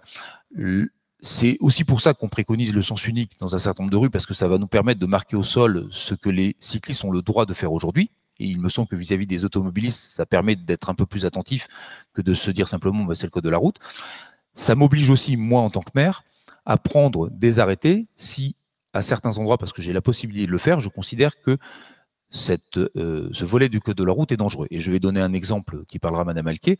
Dans la rue de Latini aujourd'hui, qui est en zone 30 en sens unique, si je ne fais rien, on peut laisser monter des vélos en contresens. Comme la rue est en pente et que tenir le 30 à l'heure n'est pas quand même d'une simplicité absolue, je vais prendre un arrêté pour empêcher les vélos de bénéficier de cet aspect du code de la route. Ça veut dire qu'on ne pourra malheureusement pas remonter là-dessus et donc il faut qu'on trouve des itinéraires. Mais euh, ça nous oblige toutes et tous à, nous redire, OK, ça c'est ce que dit le code de la route et il y a des endroits effectivement où son application est dangereuse et là le maire que je suis a la possibilité de corriger cet élément du code de la route et d'empêcher les vélos de remonter à contresens parce que euh, voilà, on pense que le risque est trop important pour eux. Voilà donc ce que je voulais dire sur les doubles sens cyclables. Et donc, vous avez sur la carte les endroits où nous envisageons d'utiliser cet euh, euh, aspect du code de la route en marquant au sol euh, la possibilité pour les vélos de rouler à contresens. Et je redis, c'est voilà, une, fonctionnalité qui est utilisée aujourd'hui dans beaucoup de villes et, y compris dans des voiries relativement étroites. Et je vous invite, si vous avez un peu de temps, à aller à Bougival, qui n'est pas très loin. Et vous verrez que sur les hauts de Bougival, hein, où les rues sont extrêmement étroites et vallonnées, eh bien, euh, le maire de Bougival a fait le choix, et, j'en ai échangé avec lui sans qu'il y ait euh, une augmentation forte de l'accidentologie, d'indiquer que les vélos ont la possibilité dans ces rues-là de circuler à contresens et manière aussi de, faciliter d'en développer l'usage.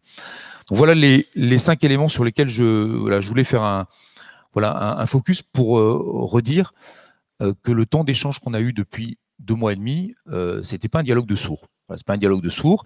Euh, on n'a pas jeté notre projet à la poubelle, on en a gardé l'ossature. On a écouté sur les points qui sont remontés et on a eu suffisamment d'échanges à la fois euh, avec vous, avec les conseils de quartier, avec un certain nombre de parties prenantes, je pense notamment à Paris 2, qui ont, permis de laisser remonter un certain nombre de choses et qui nous ont permis de travailler des sujets. On n'a pas tout réglé. Quand on ne sait pas régler les sujets, on les diffère ou on les abandonne. Et quand on peut les régler, je pense à Charles de Gaulle, on a, on a le temps d'objectiver un certain nombre de choses et d'apporter des réponses techniques, et je ne peux pas préjuger à cette heure de, ce qu'on retiendra, mais qui nous permettront d'améliorer la place qu'on peut laisser au mot sans, euh, sans sacrifier, si, si, si, ça devait être le cas, la place qu'on laisse à la circulation automobile et, je le redis, au stationnement.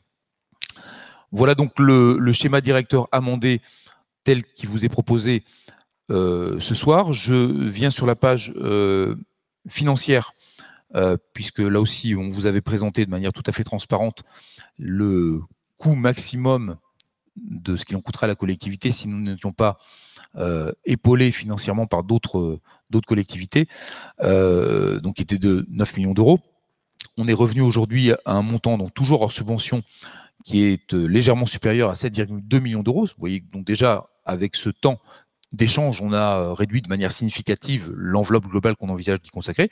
Mais je l'ai redit, et c'est pour ça que nous passons cette délibération ce soir, le plan communal de déplacement urbain, dans sa traduction technique, il passe par un, volet presque aussi compliqué financièrement que techniquement, qui est celui de la chasse aux subventions. Et donc, nous n'avons pas attendu cette délibération pour prendre contact avec l'ensemble des collectivités qui pouvaient euh, nous financer, c'est-à-dire la région, le département et Versailles Grand Parc. Et la réunion de travail, euh, puisqu'on a eu des interlocuteurs très disponibles, nous a rappelé que d'abord les calendriers étaient relativement serrés, et que si nous voulions espérer aller chercher les meilleurs taux de subvention, il fallait voter de manière formelle lors, d'un conseil municipal l'adoption d'un schéma directeur, et donc c'est ce que je, vous demande ce soir, pour que nous ayons la possibilité d'instruire dans de bonnes conditions euh, ces dossiers de demande de subvention et d'aller chercher les meilleurs taux qui, je crois, euh, peuvent monter euh, donc de 50 à 70% suivant la réalisation des, des, ouvrages que nous proposons. Donc c'est un enjeu financier extrêmement important pour la commune, hein, puisque si on va chercher entre 50 et 70% de subvention sur une enveloppe globale de plus de 7 millions d'euros, l'impact sera quand même très significatif sur, sur le budget. Et je redis qu'en face de nous, nous avons aujourd'hui des collectivités qui sont extrêmement attentives au développement des modes doux sur les infrastructures dont elles ont la charge, je pense là pour le coup au département, et c'est un sujet que je suis avec attention, mais qui sont aussi accompagnantes sur les communes qui s'engagent de manière significative dans euh, la redistribution des modes sur leur voirie. Voilà ce que je pouvais euh, partager avec vous. Euh, je vous laisse évidemment la parole pour des souhaits d'intervention ou de réaction. Si vous souhaitez les prendre, Madame Bilger et je pense Madame Alki ensuite. L'objectif n'est pas de refaire un débat hein, sur le, plan de déplacement, c'est juste de réagir par rapport effectivement aux modifications qui sont apportées. Donc le premier point, c'est qu'effectivement, euh, il y a eu quelques évolutions à noter, euh, notamment sur le plateau Saint-Antoine, la mise en test de l'avenue de Gaulle, c'est bien. Euh, moi, j'ai deux remarques de fond qui persistent par rapport à ce qu'on avait pu évoquer. la première, c'est concerne de façon générale les rues de Versailles, Corneille-Molière, Mouxoury et Potier, qui sont sur le nouveau schéma donc euh, en orange, qualifiés d'aménagement réduction vitesse. On le sait, ce sont des, des rues particulières. Euh, je n'ai toujours pas, à titre personnel, bien compris comment ces rues vont pouvoir accueillir des bus, des voitures et des vélos. Ça, c'est ma première remarque. La deuxième, et j'en ai fait part à Monsieur Jarige quand nous avons, au cours de la dernière commission euh, économique et commerce, euh, il y a une volonté forte de votre équipe euh, de maintenir l'activité économique, notamment du centre commercial, chose sur lequel, à laquelle nous adhérons totalement. Par contre, je, je note qu'il est quand même pour moi totalement antinomique de vouloir se battre pour ouvrir le centre commercial le dimanche, euh, accueillir plus de clients et en même temps réduire l'accès au centre commercial. Et je parle de nouveau de la rue Mouxoury, qui pour moi est une aberration. Mettre une écluse sur cette rue, j'insiste, est une aberration.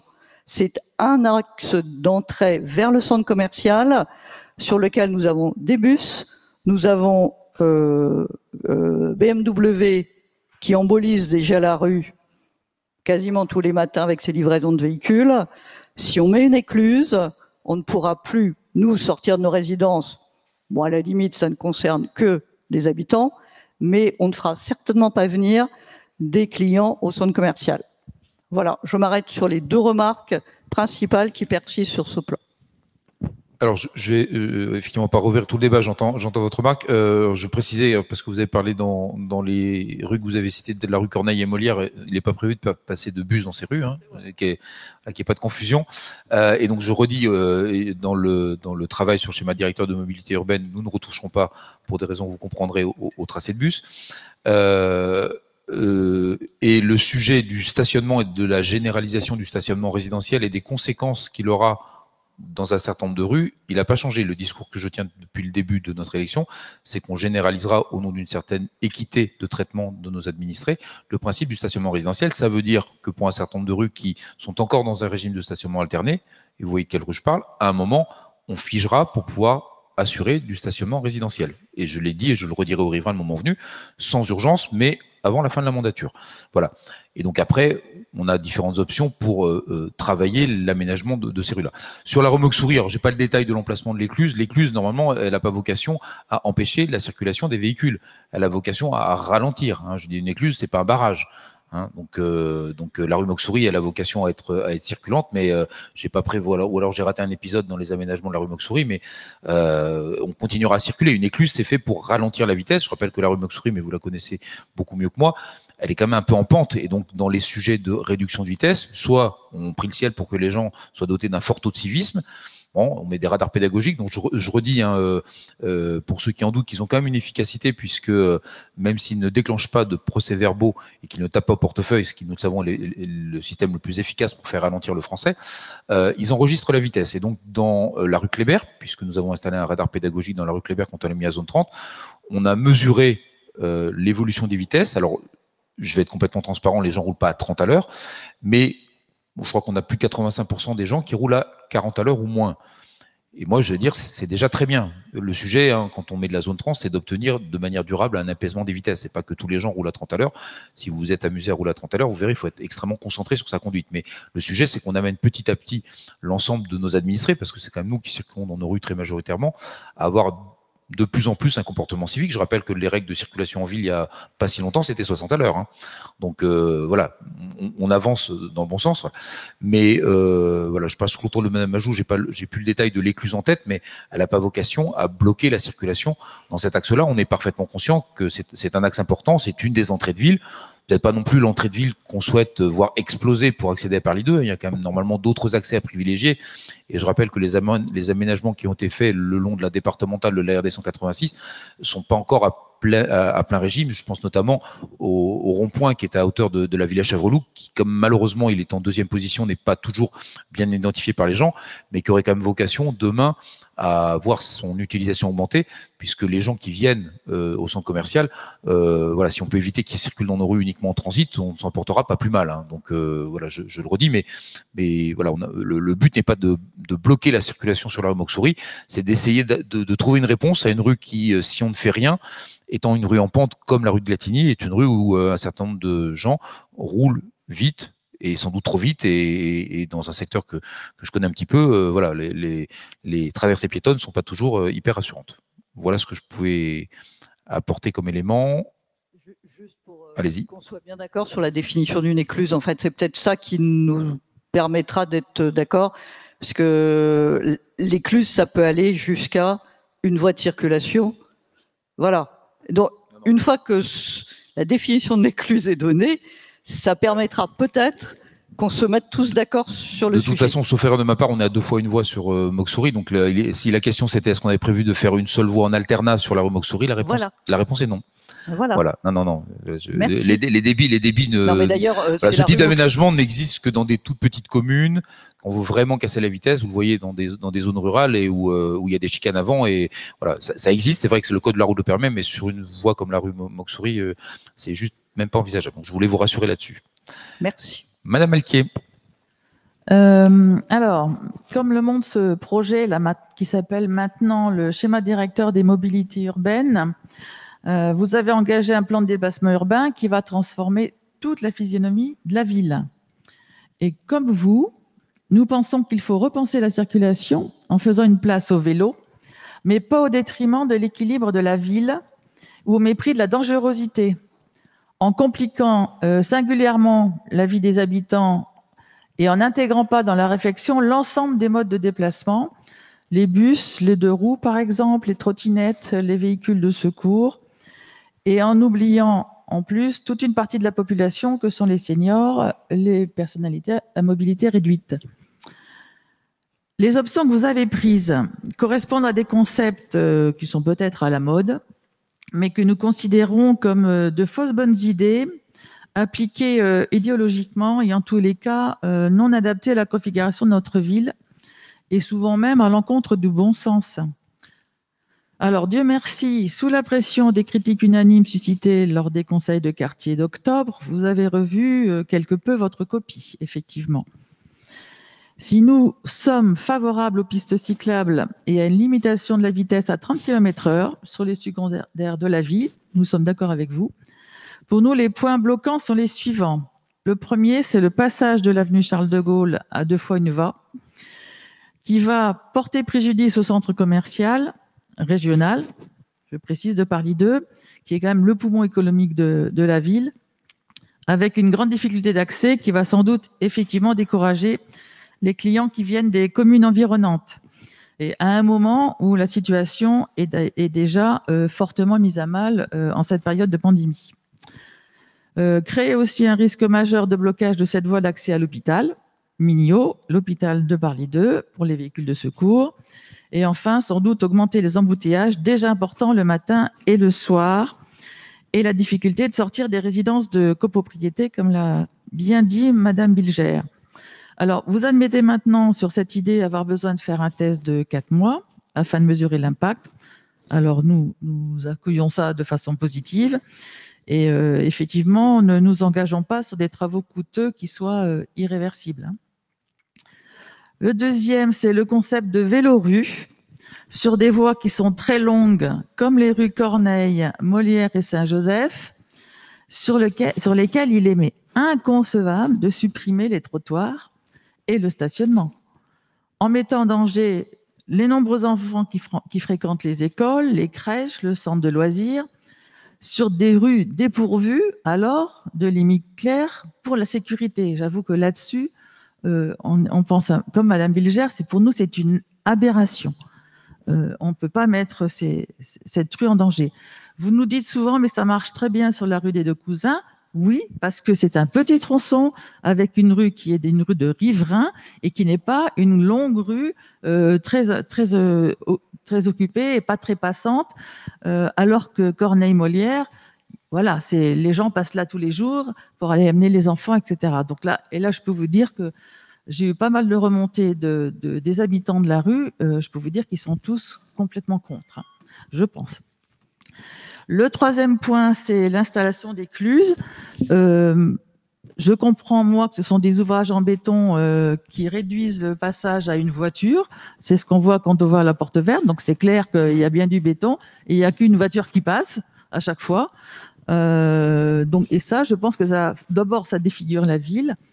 Et ensuite, ça génère des nuisances certaines en termes de bruit et de pollution, ce qui est quand même contraire à l'écologie. hein. Alors, pour, nous, votre projet aura vraiment pour conséquence d'emboliser complètement la ville. Et c'est d'ailleurs votre objectif affiché, hein, d'empêcher les véhicules de circuler, alors que je- nous avons aujourd'hui une ville fluide et plutôt apaisée, même s'il y a encore, bien sûr, toujours des efforts à faire. Alors, nous, notre proposition, elle serait de euh, prioriser la sécurité autour des carrefours complexes, comme le carrefour de l'Europe, le rond-point du 18 juin et la redingote, plutôt que de rajouter des zones de dangerosité en voulant faire cohabiter coûte que coûte vélo, voiture et piétons dans ce que vous appelez des zones de rencontre. Ensuite, retravailler sur les pistes cyclables en les sécurisant et en garantissant une continuité à l'intérieur de la ville et avec les villes limitrophes. Donc, il faudrait qu'on ait vraiment un plan général avec les villes environnantes. Euh, repenser la circulation sans passer euh, d'une extrême à l'autre comme vous le faites avec du tout vélo à 35 km de voirie et des sens uniques partout qui vont en gros pénaliser 95% de la population. Les habitants qui ont besoin de leur voiture pour aller travailler, les familles qui doivent amener les enfants aux différentes écoles, les ambulances, les pompiers qui sont en urgence pour la santé des habitants. Donc ça, c'est sur le fond. Et euh, donc au-delà du fond, euh, nous restons choqués par votre refus d'informer véritablement les habitants, quoi que vous en disiez, alors que vous affirmez vous-même que ce projet concerne toute la ville. D'ailleurs, vous avez suggéré euh, en quelques mois une enquête publique pour le règlement local de publicité, avec mise à disposition d'un dossier de concertation, publication d'un article dans le magazine municipal et sur le site internet de la ville, registre papier mis à disposition du public, recueil et partage des observations des habitants. C'est ce que nous avez présenté tout à l'heure, euh, Madame Temenides. Pourquoi ne peut-on pas le faire pour le PCDU Vous écrivez par ailleurs que hum, vous avez présenté le dossier à deux reprises au conseil de quartier, ce qui est faux. Pour être précis, rien n'a été présenté en novembre et le sujet n'avait d'ailleurs pas été mis à l'ordre du jour dans tous les conseils de quartier. hein. Et un conseil n'avait même pas pu se tenir faute de quorum suite à un manque avéré de communication. Par ailleurs, vous avez refusé de donner les documents qui sont pourtant publics, puisqu'ils ont été présentés en octobre au conseil de quartier, à ces mêmes membres de quartier et qui se proposaient de travailler sur le sujet. Euh, vous avez affirmé lors du dernier conseil, d'ailleurs, que ces dossiers étaient confidentiels. Aucun retour détaillé ni aux représentants des habitants ni aux élus d'ailleurs. sur les nombreuses remarques qui ont été remontées par les conseils de quartier. Il s'agit bien pour nous d'un simulacre de démocratie participative, monsieur le maire.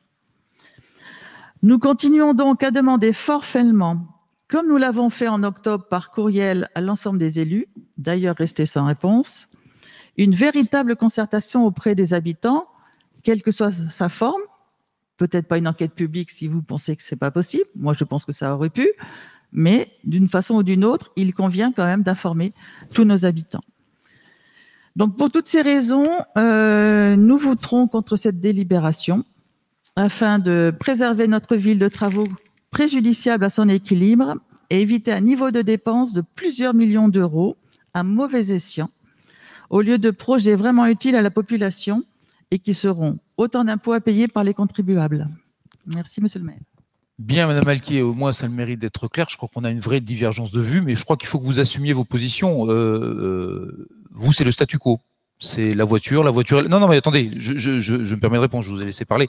Vous, vous, voilà. Euh, vos propos sont relativement clairs. Vous nous taxez de ne pas avoir pris en compte tous les modes. C'est tout le contraire qui a été fait, puisque on vous a indiqué d'ailleurs qu'on souhaitait stabiliser le schéma, de circulation des bus avant de se lancer dans cette étude et nous avons fait les choses dans cet ordre-là pour prendre en compte tous les modes, y compris la problématique du transport de marchandises hein, qui fait partie de, de, de l'étude qui vous a été remise. Donc c'est vraiment de faire un mauvais procès de dire qu'on n'a pas pris en compte l'intégralité des modes.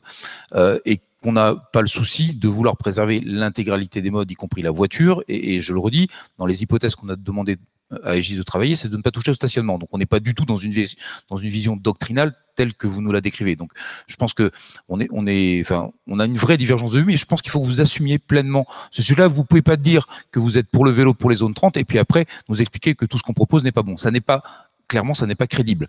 Donc j'entends, euh, et votre propos est assez clair sur la fin, que euh, vous préconisez le statu quo, parce qu'effectivement, le statu quo, ça ne sert à rien. Mais euh, je vais revenir sur le sujet des groupes scolaires. Effectivement, si on veut faire des économies, on n'entretient pas notre patrimoine. Et à la fin, on sait ce qu'il advient. Donc nous, avons une, vraie, une vraie divergence de vue là-dessus. moi, je pense que tout, ce que vous, tout ce que vous indiquez, notamment sur les conseils du quartier, n'est quand même pas emprunt d'une très bonne foi. on a pris le temps, on a fait le choix d'utiliser cet outil qu'on a mis en place, je rappelle qu'il n'existait pas sur les mandatures précédentes, et de le faire vivre. Les enquêtes publiques, c'est bien, mais c'est pas forcément le meilleur moyen de recueillir la vie de la population, et je crois qu'on vient de faire témoignage du fait que ces outils avaient bien fonctionné et qu'ils avaient permis de faire remonter sans filtre un certain nombre de remarques, parfois sévères, que nous avons essayé de traiter. Vous, pouvez, dire qu'on a est dans un simulacre de démocratie, mais je trouve que c'est un simulacre qui fonctionne plutôt pas mal, et que la séance de ce soir qui est publique, qui est retransmise, permet à n'importe lequel des administrés de notre commune qui souhaitent être informés de l'avancée de ce projet, d'en avoir la totalité des informations. Donc moi, je n'ai rien à cacher. Je trouve que vous nous faites un mauvais procès. Mais je retiens, euh, et au moins cette intervention de votre part est assez claire, qu'il y a une vraie divergence sur la réalité de la volonté de laisser de la place au mode doux. Et contrairement à ce que vous pensez, on n'est ni, dans l'idéologie, ni dans le mode. Je rappelle que les deux, euh, les trois institutions qui vont nous accompagner sur cette rénovation sont, je ne crois pas, gouvernées par des gens ni issus de la gauche, ni issus des écolos. Hein. La région Île-de-France, le département et VGP, euh, on sait qui les gouverne. Et toutes ces institutions nous accompagnent très fortement, mais très fortement, sur les évolutions que nous portons. Donc je pense qu'à un moment, il va falloir que vous révisiez un tout petit peu votre logiciel on ne s'aide pas de la mode, on est, euh, je le rappelle, dans une planète qui se réchauffe, et donc il va falloir effectivement aider nos concitoyens à modifier de manière significative leur comportement. Le choix que vous faites, c'est celui du statu quo, je peux l'entendre. Voilà, c'est pas le choix que nous portons, et je pense qu'effectivement, nous aurons de ce côté-là une claire divergence. Il faut que chacun l'assume. Nous portons effectivement euh, une politique qui souhaite laisser une place plus importante au mode doux. C'est pas le choix que vous faites. Chacun en assumera les conséquences. Monsieur Monsieur le maire, vous dénaturez complètement mes propos. Je n'ai pas du tout ça. On n'est pas du tout dans le statu quo. Je ne suis pas d'accord, mais on n'est pas d'accord avec vos options. Écoutez, euh, chacun, chacun a eu le loisir de s'entendre. Euh, Madame Bilger, je vous laisse euh, le petit mot de la fin sur ce sujet. Expliciter également notre position. Pour notre groupe, ce sera une abstention, puisque nous considérons effectivement que certains amendements devraient encore être faits. Merci. Donc, je vais passer formellement au vote. Y a-t-il des votes contre l'adoption de ce schéma? Donc, sept votes contre. Y a-t-il des abstentions? Je comprends qu'il y en a trois. Et pour le reste, à la majorité, je vous en remercie. Nous allons passer à la délibération suivante euh, concernant la mise en place d'un brevet d'aptitude aux fonctions d'animateur citoyen d'accueil collectif de mineurs, le BAFA citoyen. Je passe la parole à Madame Charpentier. Et merci, monsieur le maire. Et peut-être euh, un petit mot détente pour raconter le conseil municipal des jeunes hier soir. Vous avez présidé le premier conseil municipal des jeunes et il y avait 19 élus.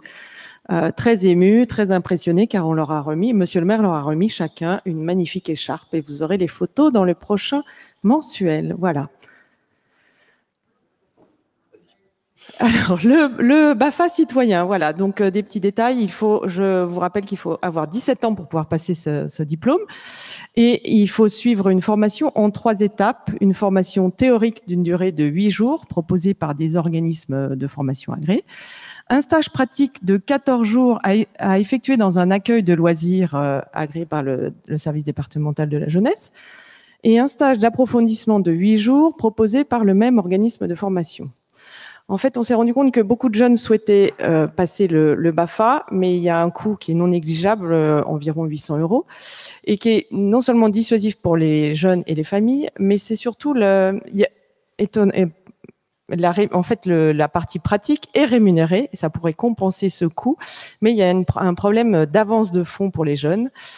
Euh, et de l'autre côté, le service jeunesse manque d'animateurs, notamment des animateurs avec ce BAFA. Euh, et pourtant, c'est pas faute de, faire, de mettre des annonces un peu partout. C'est le même problème dans les communes euh, voisines. Donc, ce BAFA citoyen serait une solution. Le principe est le suivant. Chaque année, la commune prend en charge les coûts de formation théorique et du stage d'approfondissement pour 10 stagiaires à un tarif préférentiel négocié avec un organisme de formation, environ 250 euros par stagiaire pour la formation théorique et 200 pour le stage d'approfondissement et en contrepartie euh, de la mise à disposition euh, pour l'organisme de formation de salles, euh, voilà, pour qu'ils puissent proposer ce, stage à d'autres à d'autres stagiaires. Donc il y a des, c'est en fait les sessions sont proposées pour 20 stagiaires, 10 stagiaires BAFA citoyens que la commune rémunère directement et 10 autres stagiaires uniquement des chaînes et courtois. Et là, euh, en fait, ils, bénéficient d'un tarif préférentiel. Voilà. Et les, jeunes chez Courtois payent directement l'organisme de formation. Il y aura donc une convention de formation signée entre l'organisme et la commune. Pour pouvoir prétendre au BAFA citoyen, le jeune doit répondre à quelques critères. Il doit donc avoir entre 17 et 25 ans. Il doit habiter au Chénère au concours. Il doit démontrer sa motivation lors de sa candidature, donc il doit faire une lettre de motivation. Euh, l'idée, c'est qu'il aille jusqu'au bout de la formation et, euh, effectuer son stage pratique dans un accueil de loisirs de la ville. Il y aura donc un contrat qui formalisera cet engagement entre la commune et le stagiaire et ses parents s'il est mineur. Lors de la formation pratique en accueil de loisirs de la commune, en BAFA citoyen, en fait, le stagiaire est rémunéré par la collectivité, mais un petit peu moins qu'un stagiaire BAFA non citoyen. Voilà. Mais euh, de l'autre côté, il va payer, va pas payer sa formation, donc ça se compense et c'est donc gagnant, gagnant pour tout le monde. Alors, je vais vous passer les, chiffres, euh, voilà, tous les chiffres. Et en fait, ce qui est très important, c'est que pour nous, ça nous permet, en fait, on, manque vraiment d'animateurs et ça nous permettrait de fidéliser des animateurs, des, ouais, des, des animateurs acteurs euh, diplômés du, BAFA et c'est un vrai souci pour nous. Donc, euh, donc c'est pour ça qu'on met en place ce système qui a déjà été mis en place dans la commune de Vélizy avec succès. Voilà. Et donc euh, les détails pratiques, ce serait mis en place au début de l'année 2022 avec la formation théorique pendant les vacances de février, la pratique pendant les vacances de printemps ou l'été prochain et le stage d'approfondissement lors des vacances de la Toussaint. Voilà. il y avait une remarque en commission parce qu'effectivement, ces jeunes pourraient devenir étudiants à la rentrée prochaine. Mais on espère qu'ils seront motivés pour euh, la faire à, la Toussaint. Et il y aura une autre session qui pourrait démarrer et qui, elle, sera sur toute l'année scolaire 2022-2023. Voilà, monsieur le maire. Merci beaucoup, Madame Charpentier. Y a-t-il des souhaits d'intervention sur cette délibération sur le BAFA citoyen? Mais oui, Madame Lemenet. Oui, je voulais dire que c'était une excellente idée. Ah nous, saluons cette intervention tout à fait remarquable que nous allons mettre sous cloche pour les jours où vous serez moins aimable. Madame Bilger. Euh, oui, en fait, je souhaitais savoir comment allait être sélectionner entre guillemets les, les jeunes Parce que c'est vrai qu'il y a une grosse demande et qui va en fait euh, accepter ou non leur candidature? Comment ça va se passer? En fait, ils ils vont faire une, ils vont rédiger leur lettre de motivation et on va s'assurer qu'ils aillent jusqu'au bout parce que les jeunes ils zappent un peu, donc on va être sûr de ça. Et, et puis ben, on va voir. Enfin, alors on serait surpris si on a des tonnes et des tonnes de candidatures, hein, parce que euh, en fait, on, on- on a du mal à, à recruter, ne serait-ce que euh, pour une journée, c'est quand même euh, 10. En fait, on les paye quoi 100 euros pour une journée, c'est 10 heures, et, et on trouve pas. Donc, euh, donc on va voir s'il y a tant de jeunes motivés pour euh, pour cette formation qui est quand même un petit peu longue en termes de durée, mais beaucoup moins longue en BAFA citoyen que en BAFA normal. C'est plutôt sur deux ans en temps normal. D'accord. Donc, Enfin, la lettre de motivation. En fait, qui va acter en fait que le c'est- vous, c'est le service jeunesse, euh, jeunesse c'est le service jeunesse parce que c'est quand même eux qui ont l'habitude. euh, voilà, oui. Enfin, on sera avec eux et c'est c'est une bonne remarque. hein, on peut faire ça ensemble. Ok. Merci. Si pas d'autres souhaits d'intervention, on va passer au vote. Y a-t-il des votes contre Des abstentions à l'unanimité? Merci beaucoup. Nous allons passer dans le temps scolaire, dans tous les sens du terme. Je passe la parole à Madame Siadou pour euh, cette organisation du temps scolaire à quatre jours dans les écoles maternelles élémentaires et le renouvellement de la demande de dérogation. Merci, monsieur le maire. Je fais un petit retour rapide parce qu'on s'y perd. Euh, en 2008, euh, la semaine de quatre jours avait été instaurée dans les écoles maternelles et élémentaires publiques. Donc, ça avait, mis, ça avait mis fin en fait au travail le samedi et avait réduit le temps de travail. En 2013, euh, il y a eu un retour à la semaine de quatre jours et demi. Donc, la journée d'école était raccourcie et de nouvelles activités périscolaires ont été organisées par les municipalités. Donc, c'est ainsi qu'en 2014, les enfants de la commune ont repris le chemin des écoles le mercredi matin avec notamment la mise en place euh, de ce qu'on appelait les, étapes le, vendredi après-midi. Et en 2017, les communes ont eu le choix de choisir le rythme scolaire qui leur convient et revenir à la semaine de quatre jours. Donc la commune a opté pour ce choix de semaine de la semaine de quatre jours suite à un questionnaire euh, qui avait été euh, soumis euh, au niveau de la commune avec 85% donc de, personnes favorables. Ce régime dérogatoire donc, permet à la commune de bénéficier de l'organisation du temps scolaire à quatre jours par semaine. Et cette dérogation arrive, enfin du moins est arrivée à échéance en septembre 2021 et euh, ne pouvant être reconduite tacitement euh, auprès de l'inspecteur euh, d'académie, le directeur académi- académique des services de l'éducation nationale, il est donc proposé au conseil municipal d'en renouveler la demande auprès de ces services pour une durée de trois ans jusqu'à septembre 2024. Donc la particularité du, projet éducatif territorial donc, euh, qui a été mis en place à la rentrée 2017 et sa labellisation notamment du plan mercredi ont permis donc de déroger au principe de, de répartition des enseignements dans les écoles maternelles élémentaires sur au moins cinq matinées consécutives. Donc depuis cette organisation, euh, depuis donc l'organisation du temps scolaire de la commune se répartit donc euh, comme vous le savez un lundi, mardi, jeudi et vendredi de 8h30 à 11h30 et l'après-midi de 13h30 à 16h30. Donc le, label Plan Mercredi permet à la commune de mettre en place des activités périscolaires de qualité, associant des associations sportives et culturelles dans sa programmation des matins malins. Donc ça permet de garantir la qualité éducative des activités proposées et le savoir-faire des personnels. Donc notamment, il y a des activités scientifiques, technologiques, numériques, manuelles, culturelles. Enfin voilà, donc euh, beaucoup d'activités sont proposées aux jeunes.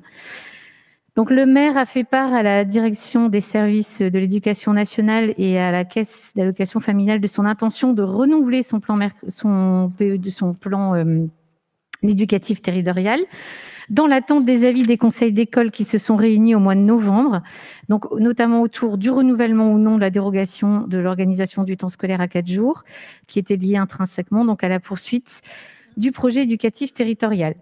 Donc les conseils d'école se sont tous exprimés donc au mois de novembre et ils se sont tous exprimés en faveur du maintien de l'organisation du temps scolaire à quatre jours jusqu'en septembre 2024. Donc huit écoles sur 10 à l'unanimité et deux écoles à la majorité. Donc c'est important pour voir euh, effectivement les enseignants, tout le monde vote. Donc euh, voilà.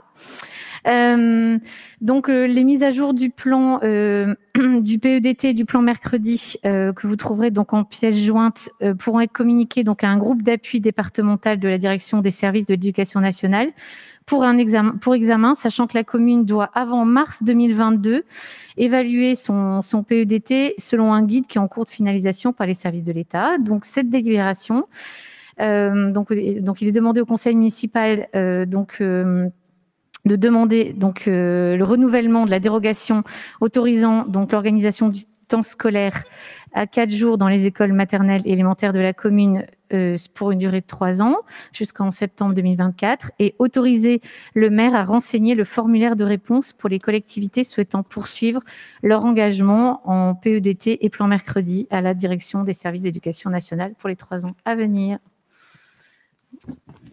Merci Madame Siadou. Y a-t-il des souhaits d'intervention sur cette demande de dérogation? Je ne vois pas de main s'agiter. On va donc passer au vote. Y a-t-il des votes contre? Des abstentions à l'unanimité. Merci beaucoup. Euh, nous allons passer sur la séquence ressources humaines avec euh, le tableau annuel des avancements de grade pour 2021. Je passe la parole à Monsieur Ribert. Merci, monsieur le maire. Donc en fait, on est sur une mise à- jour particulière du, tableau euh, des effectifs, l'usuel euh, délibération qu'on passe quasiment euh, tous les mois. Ah, Excusez-moi. Donc il s'agit en l'espèce effectivement de créer ou de supprimer des postes dans le cadre des avancements de grade pour des agents qui bénéficient de ces avancements en 2021. L'avancement de grade, permet aux agents d'accéder à un grade supérieur au sein de son cadre d'emploi. Le tableau des avancements de grade, est annuel, unique pour chaque collectivité. Pour rappel, nous avions fixé par délibération le 23 février 2021, modifiant ainsi celle du 16 octobre 2019, un ratio promouvable de 100% pour l'ensemble des grades de cadre d'emploi tout en rappelant que ce taux de 100% ne signifie, ne signifie pas que tous les agents remplissant les conditions réglementaires définies par leur statut particulier seront nécessairement nommés. L'autorité territoriale conserve évidemment un pouvoir d'appréciation et de décision sur les situations individuelles au regard de critères arrêtés après l'avis favorable du comité technique du 19 octobre 2021. Ces critères sont au nombre de quatre. Ils sont relatifs à la fois à l'appréciation qui est portée sur la manière de servir, la valeur professionnelle, les acquis de l'expérience professionnelle et la capacité éventuelle de l'agent à exercer des fonctions différentes. Concerne aussi l'ancienneté des agents dans les services de la ville, d'une absence de nomination au titre de la promotion interne ou de l'avancement de grade lors des cinq dernières années. Excusez-moi. Il s'agit alors de prendre en considération l'absence d'évolution de carrière lors de la période précédente pour ne pas bloquer les agents à l'avenir. Et enfin, les efforts accomplis par l'agent pour accroître son niveau de compétences professionnelles. Les agents concernés en 2021 sont au nombre de 41. Alors, je vais évidemment ne pas lire l'intégralité des suppressions et créations de postes qui se, complètent. Je compléterai juste en indiquant que le coût pour la ville de l'intégralité de ces avancements de grade est de 1582 euros par mois, soit un total de 18 984 euros. Et euh, pour donner un exemple, le, nombre de personnes qui, avaient, euh, qui étaient promues en 2019 était de 51. Donc ça permet aussi de voir que finalement, euh, la, résolution que nous avons passée en début d'année n'a pas de, de raison inflationniste, mais juste une façon de, gérer plus facilement ces systèmes de, de- ratios qui sont parfois euh, compliqués. Merci beaucoup, Monsieur Ribert. Je vois que Monsieur Gors prend le micro. Je vous passe la parole, Monsieur Gors. Oui, mer- merci. Je, je- je- je vois qu'effectivement est répondu euh, aux questions que nous avons posées en commission des finances, puisqu'effectivement nous avions demandé le coût en année pleine. euh, je ne connaissais pas effectivement les, les moyennes de, de- de- de promotion des années écoulées. Mais enfin, voilà, donc euh, merci pour ces réponses. Je vous en prie. Y a-t-il d'autres souhaits d'intervention? Si pas d'autres souhaits, on passe au vote. Des votes contre, des abstentions à l'unanimité. Merci. Nous allons maintenant passer à une séquence de rapports d'activité dont je ne doute pas que l'art de la synthèse va être au rendez-vous. Monsieur Jarry, c'est vous qui ouvrez le bal avec le rapport d'activité 2020 du marché public d'approvisionnement. C'est comme ça que ça s'appelle, le marché des deux frères. Merci, Monsieur le maire. Bonsoir à tous. Donc, cette euh, délibération concerne donc, le marché de la rue des Deux Frères, donc le marché forain, pour lequel euh, nous avons donc une délégation de service public qui est signée donc avec un concessionnaire, ce dernier étant donc la société L'Oiseau Marché. Donc, ce dernier nous doit un rapport euh, annuel qui, représente, qui est basé pardon, sur l'année euh, donc, euh, 2020. Ce rapport donc, a été produit au mois de mai euh, 21. Et donc, il nous est donc demandé euh, et proposé ce soir au conseil municipal de prendre acte de ce rapport de l'année 2020 qui nous a été transmis. Merci. Y a-t-il des souhaits d'intervention?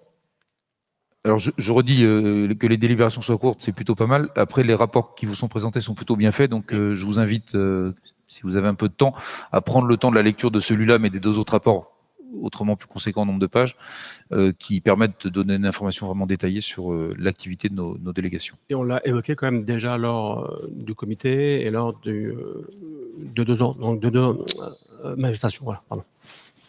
Merci. Y a-t-il des souhaits d'intervention? Si pas de souhaits d'intervention, on passe euh, non pas au vote, on prend acte collectivement que ce rapport nous a été présenté. Merci, Monsieur Jarige. Nous avons maintenant le rapport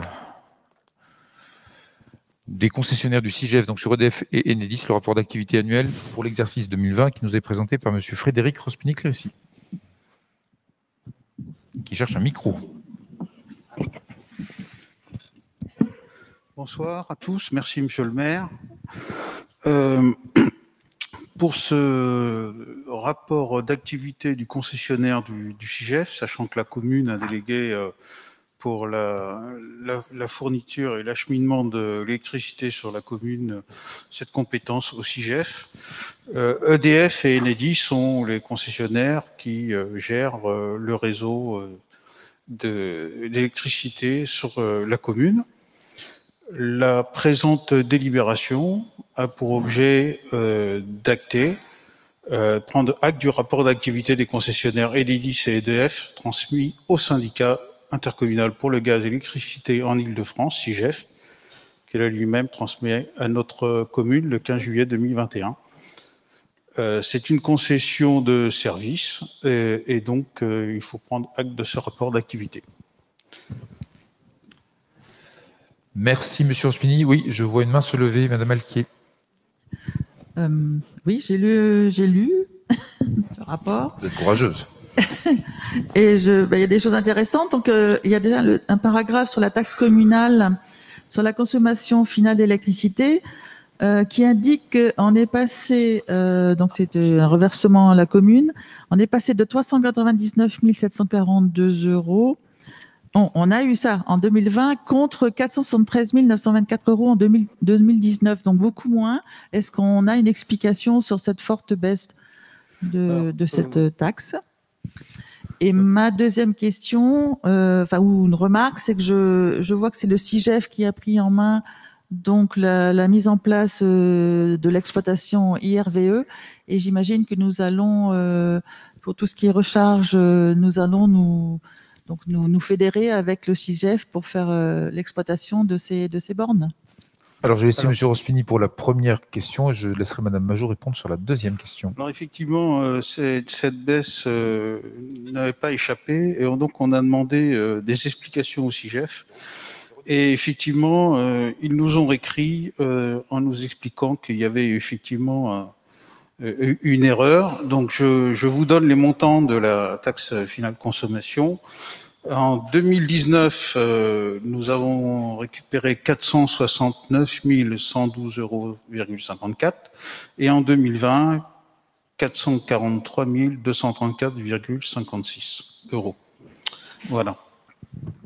Donc la baisse était moins importante que, que initialement prévu. Voilà.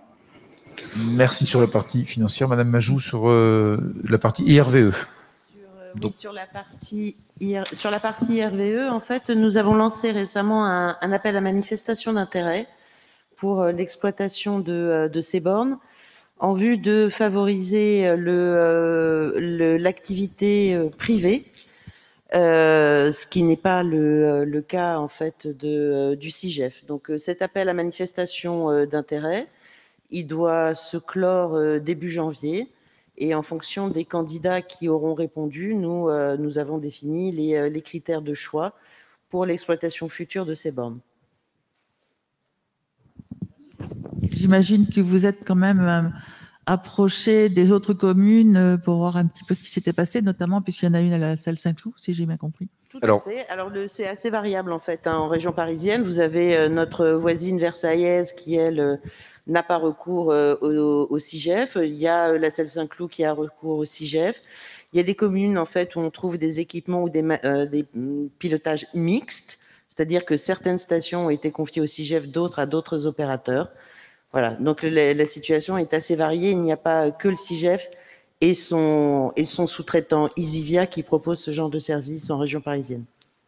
Et je redis, euh, merci en tout cas de, nous interpeller là-dessus, que notre sujet, nous, c'est la réutilisation de stations Tolib. La salle Saint-Cloud n'avait pas de station Tolib, donc ils ont installé des stations IRVE et, et on fait appel au CIGEF. Euh, notre priorité, nous, c'est de remettre en service le parc de, de stations Tolib. Ça ne veut pas dire qu'après-demain, on ne développera pas d'autres stations.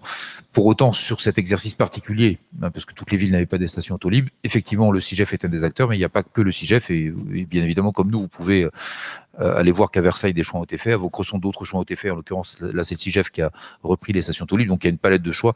Mais Madame Majou vous a indiqué dans quel process on se mettait en place et, on attend effectivement le retour de cet appel à manifestation d'intérêt pour voir qui a répondu et si la réponse euh, nous permet d'avoir euh, une équation euh, à la fois euh, technique euh, et, en termes de calendrier qui nous permette de remettre le plus vite possible ces équipements en service.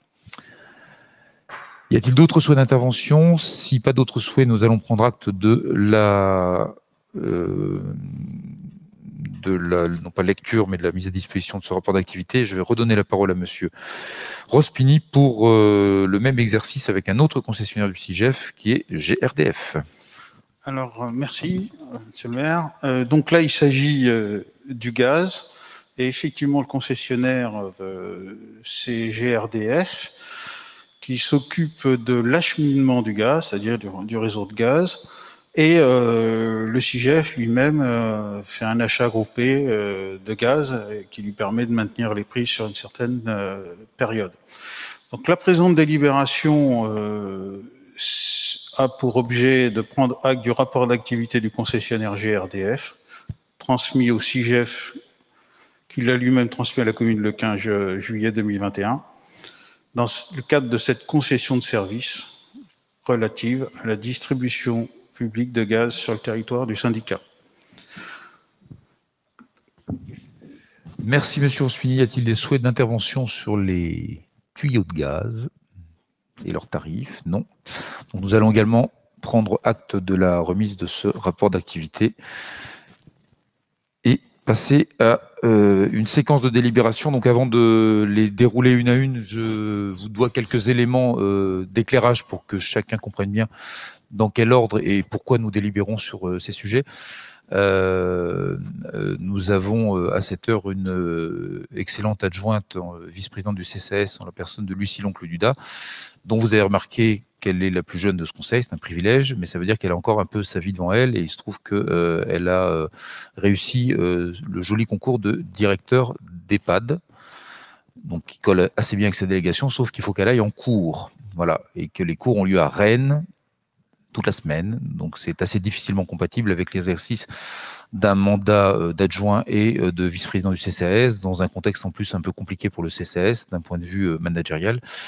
Et donc, euh, donc en plein accord avec, euh, avec Lucie, euh, on, met en place, euh, voilà, on va redistribuer euh, les portefeuilles. Et donc, dans quelques instants, je vous proposerai euh, le nom d'une autre personne pour remplacer Lucie sur cette délégation. Et on en profite donc pour recomposer également le, le conseil d'administration du CCAS, puisque Lucie s'occupait en, en tandem avec Violaine Charpentier du diagnostic social de territoire. Et dans le diagnostic social du territoire, il y a le mot social. Et donc, je, voilà, je, je vais vous proposer dans quelques instants, d'une part, de recomposer donc le conseil d'administration du CCAS. Euh, et donc, je remercie pour ce faire les deux hommes de la majorité qui vont laisser la place à deux femmes. Euh, donc Frédéric Darentière et, Philippe Pauline vont laisser leur place euh, respectivement à euh, donc Violaine Charpentier et Anne Testu. Donc c'est l'objet de la première délégation. Et euh, ensuite, je reviendrai plus en détail sur les modalités de nomination de la future adjointe, dont je ne donne pas le nom là tout de suite, mais que vous aurez certainement deviné. Donc nous allons tout d'abord euh, voter. euh, donc si vous en êtes d'accord, comme on l'a fait jusqu'à présent depuis le début de ce conseil, pour une liste unique, euh, et donc sauf avis contraire, je pense que Mme Fauvel n'a pas l'intention d'abandonner sa place au CA du CCAS, et donc égard à la taille des groupes d'opposition, je vous propose donc, euh, donc si on en est d'accord, est-ce qu'on est obligé de faire un vote à bulletin secret? Bien sûr, vous êtes sûr? Vraiment? Tant pis. Vous allez prendre vos petits papiers, donc je vous propose euh, la liste suivante. Euh, donc, Euh, Madame Testu, Madame Forget, alors que je ne me perde pas dans les papiers, Madame l'oncle Duda, Oui, si, si, Madame l'oncle Duda reste au sein du CCAOS, oui, puisque euh, je n'ai pas été au bout de ma logique. Comme vous avez compris qu'elle allait se former sur un métier assez en lien avec le CA du CCAS, je, je laisserai à Madame l'oncle Duda une petite délégation qui lui permettra à la fois de nous faire profiter de son apprentissage dans ces métiers-là et de conserver et de, nous permettre de, continuer à tirer parti de ses compétences dans le domaine. Donc Madame l'oncle Duda restera euh, membre du CA du CCAS et euh, Madame Charpentier ça, c'est pour les membres du groupe majoritaire. Et Madame Fauvel. Donc, je répète. Madame Testu, Madame Forget, Madame l'oncle Duda, Madame Charpentier, Madame Fauvel. Est-ce que c'est bon pour tout le monde? Donc, je vous laisse remplir les petits papiers et je laisse l'administration, en la personne de Afid Sossi, faire le tour. Il faut faire l'appel. C'est le Benjamin, la Benjamine? Ah bah oui. Allez. Lucie.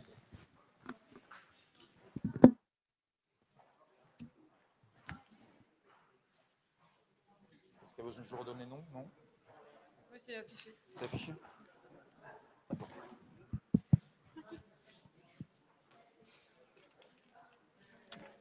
Ah bah, Richard, prends le.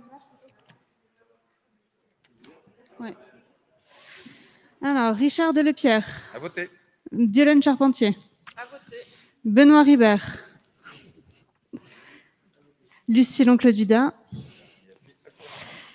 Euh, Louis-Marie Soleil. Véronique Siadou. Christophe Consdorf. Martine Bélier. Jean-Louis Jarige. Aline Temenides. Philippe Collins, de l'autre côté. Marie-Laure Majou.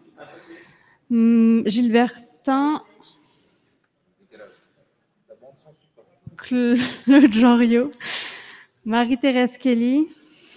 Dominique Forget. Marie-Claude Chevrier. Bat- Janine Bataille. Patrick Berthomé.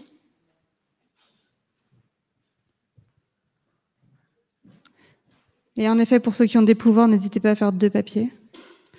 Euh, Jean-Michel Vanget, Tanegui Odik de Carnan, Géraldine Arenes-Schneider, Frédéric Darentière, Valérie Genquin qui n'est pas là, Anne Testu, Aguette Méry, Joséphine Parmentier.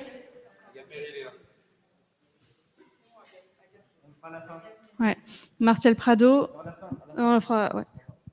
Martial Prado. Camille Ribert. Jean-Christophe Voiseux. Marc Sévely. Marie-Cécile Godot. Frédéric Rospini. Jean-François Pommery. Maurice Toledano. Nicole Alquier. Karine Leméné. Laetitia Guignarvio, Fabrice Tabary, Brigitte Fauvel, Stéphane Gors, Dorothée Bilger, Caroline Granger. Et, et, et l- Agathe Méry en la personne de Violaine Charpentier.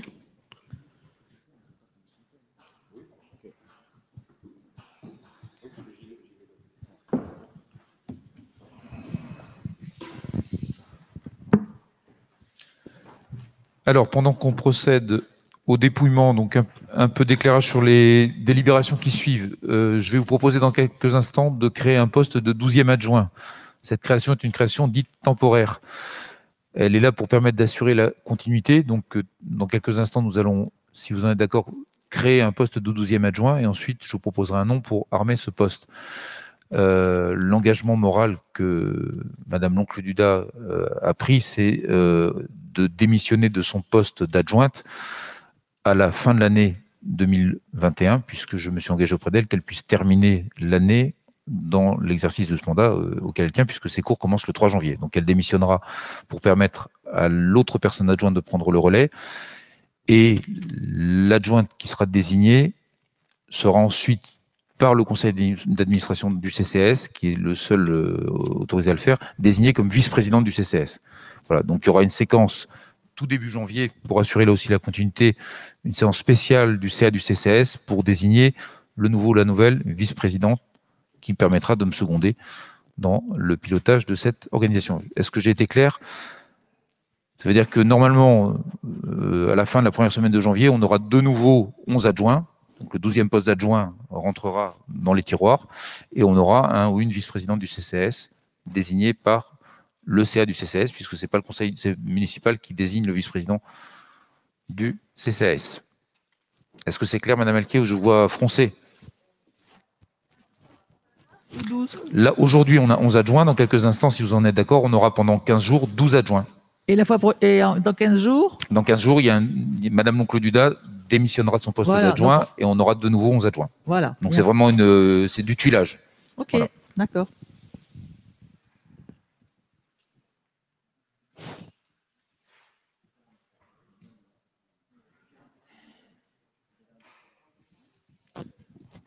Alors, euh, Madame la Benjamin, est-ce que vous voulez bien nous annoncer les résultats? Euh, Donc, on a 43 votants, un vote blanc et 42 euh, suffrages exprimés pour la liste proposée. Très bien, je remercie la très très grande majorité du Conseil de valider cette liste. Donc je passe à la délibération suivante euh, où il faut que le Conseil euh, valide euh, de passer le nombre d'adjoints de 11 à 12, donc suivant les termes que je viens de vous présenter. Y a-t-il des soit d'explications complémentaires, parce que je peux ne pas avoir été clair. Sinon, y a-t-il des votes contre? Y a-t-il des abstentions? À l'unanimité Merci beaucoup. Non? Ah, il y a plein d'abstentions alors. Combien? 7 J'ai pas. Oui? Non? Vous avez, le, droit, monsieur Pumry, pour une fois, de faire. euh, Bon, alors, ça, donc 7. Donc c'est libre ou pas? Donc c'est libre et c'est 7 Ok, ça marche. Donc 7 abstentions à la majorité. Créons le poste de 12e adjoint. Euh, donc là, je me tourne vers l'administration. Qu'est-ce que je vous dois? Un nom? Est-ce qu'il faut qu'on vote encore un bulletin secret sur ce coup-là? Ah oui. Donc le deuxième petit papier n'était pas là par hasard. Et donc je vais vous proposer euh, de désigner Madame Anne Testu comme 12e adjointe. Y a-t-il d'autres candidats? Oui, à tout hasard, on ne sait jamais. Pas d'autres candidats.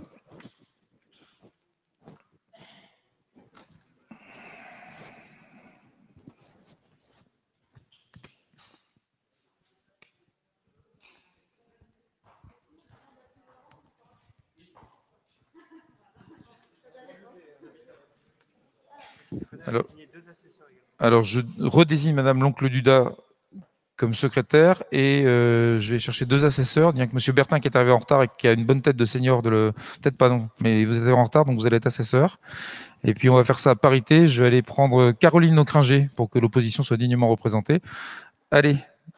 Donc les assesseurs près de. Ils viennent où les assesseurs, Monsieur Charrère? Ils viennent euh, là? Donc euh, vous allez vous gagner un peu de marche à pied. Monsieur Bertin. Pip, pom. Ah, vous pouvez venir après avoir voté. euh. Bon. Alors, est-ce qu'on peut voter? Afid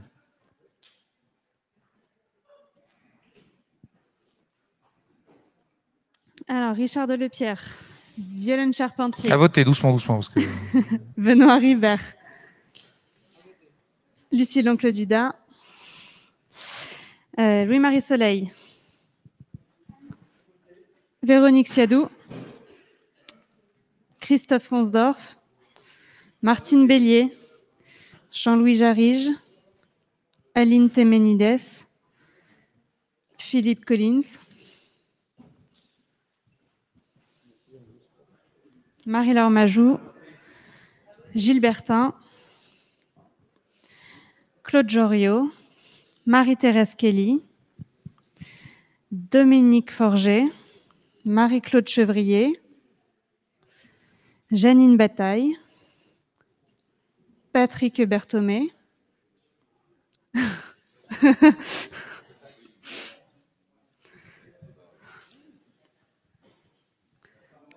Jean-Michel Vanger, Tanegui Odic de Carnin, Géraldine Arenes Schneider, Frédéric Darentière, Valérie Genquin par Marie-Claude. Marie-Cécile Godot, euh, Anne Testu,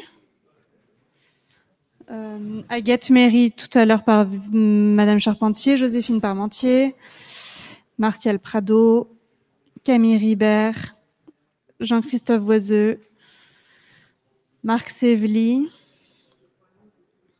Marie-Cécile Godot, Frédéric euh, Jean-François Pemery, Maurice Toledano, Nicole Alquier, Karine Leméné, Laetitia Gagnard-Vieux par Nicole Alquier, Fabrice Tabary et Brigitte Fauvel, Stéphane Gors, euh, Dorothée Bilger et Ne- Véronique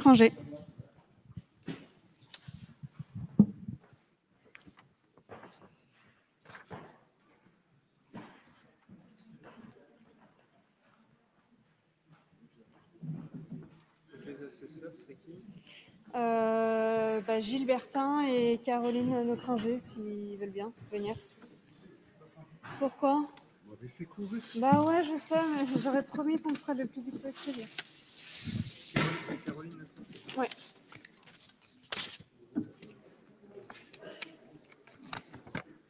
Deux, trois, quatre, cinq, six, 7, 8. Bonsoir. Vous pouvez chanter avec moi si vous voulez. On est à 7, 8, 9, 10, 11, 12, 13, 14.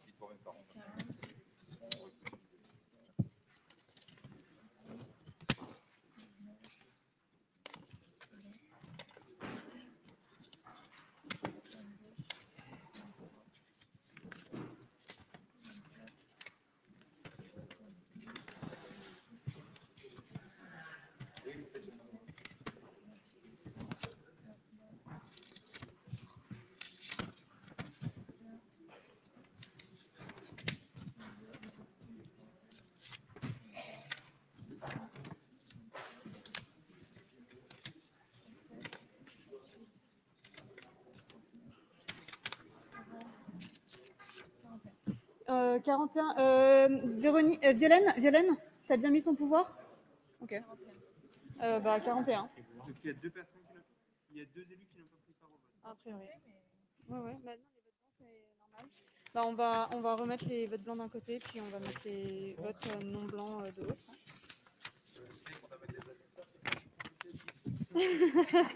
Ça y est. Oui, oui, vote blanc là. Que les votes blancs, on est censé en avoir 7 a priori, plus 1. L'élection de l'adjoint, blanc ou nul, c'est pareil, vous les mettez dans un point. Oui, oui. Un blanc est considéré comme nul. Mais comme on va recalculer après.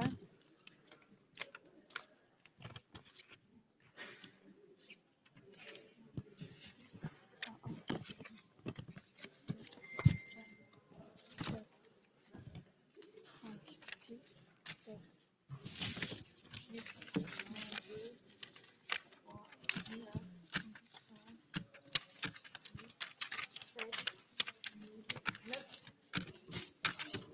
Neuf blancs ou nuls. 21, 22, 23, 24, 25, 26, 27, 28, 29, 30, 31, 32, 33. 33 euh, votes exprimés. Ça colle Donc, 41 élus qui ont voté sur les 41 votes, ça fait 32. Et 3 et 8, ça fait Après, c'est peut-être que... Ah, mais c'est qu'on a mal compté au début. Hein. 1, 2, 3, 4, 5, 6, 7, 5, 8, 5, 5, 5,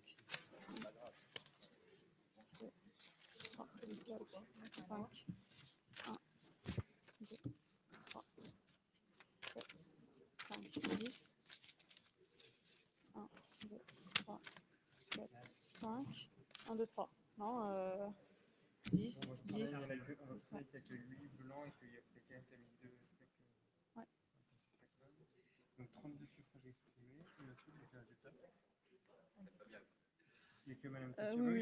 n'y a qu'un ça, seul oui. candidat, pardon. Euh, nous avons donc 32 suffrages exprimés pour Madame Testu et euh, 8 votes blancs. Et deux personnes ne prenant pas part au vote. Voilà. Nous pouvons accueillir et féliciter Madame Testu, qui devient adjointe.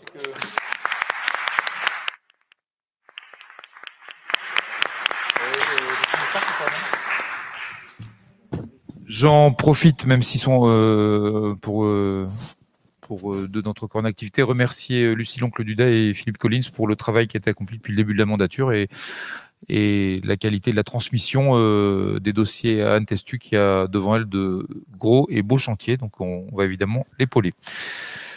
La délibération suivante euh, concerne la révision euh, du tableau de fixation des indemnités de fonction des adjoints maires et conseillers pour que Madame Testu bénéficie du même niveau d'indemnité que ses collègues adjoints. Donc, délibération classique. Donc, y a-t-il des souhaits d'intervention?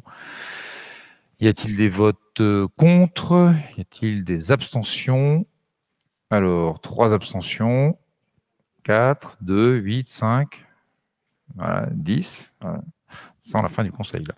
10 abstentions et à la majorité, je vous remercie.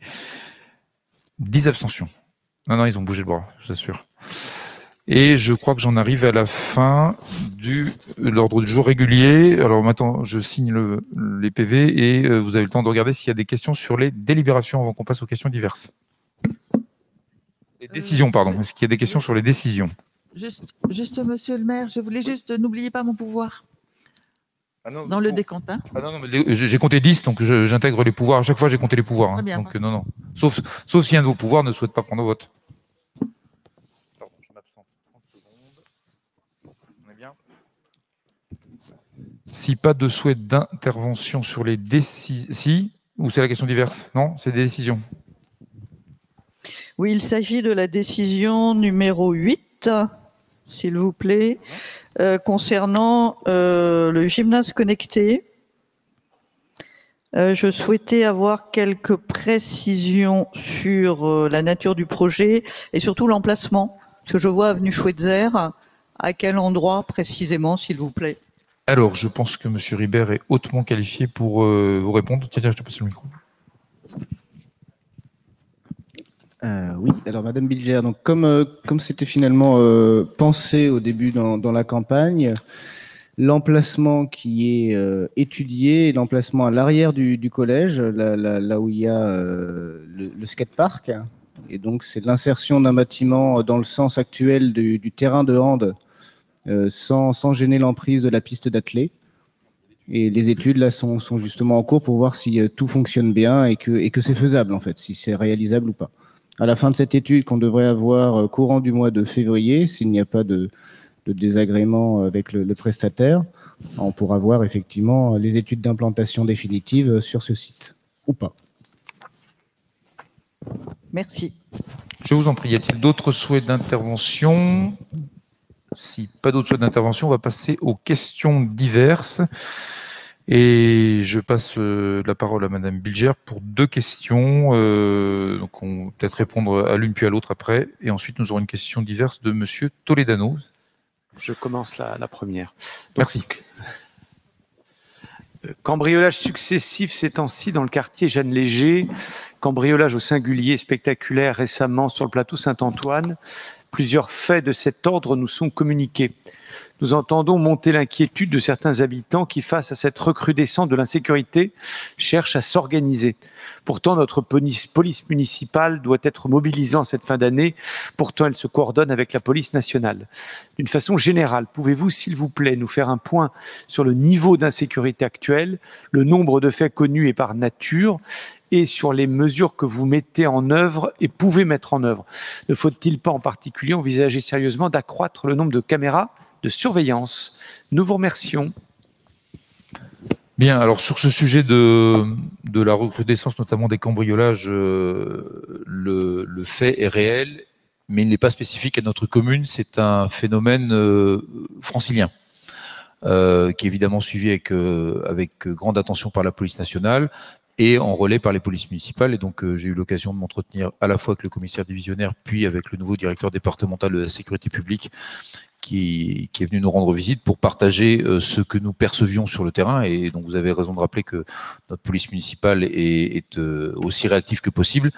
Euh, on a affaire à des phénomènes de bandes très bien organisées, euh, issus pour une grande partie du pays de l'Est, et je ne pas le nom des pays pour ne rien, stigmatiser, mais aussi, malheureusement, voilà, le, ces, faits euh, s'internationalisent beaucoup. On a également des bandes qui viennent d'Amérique du Sud maintenant, ou d'Amérique centrale. Voilà, donc ce sont des réseaux très bien organisés, très mobiles.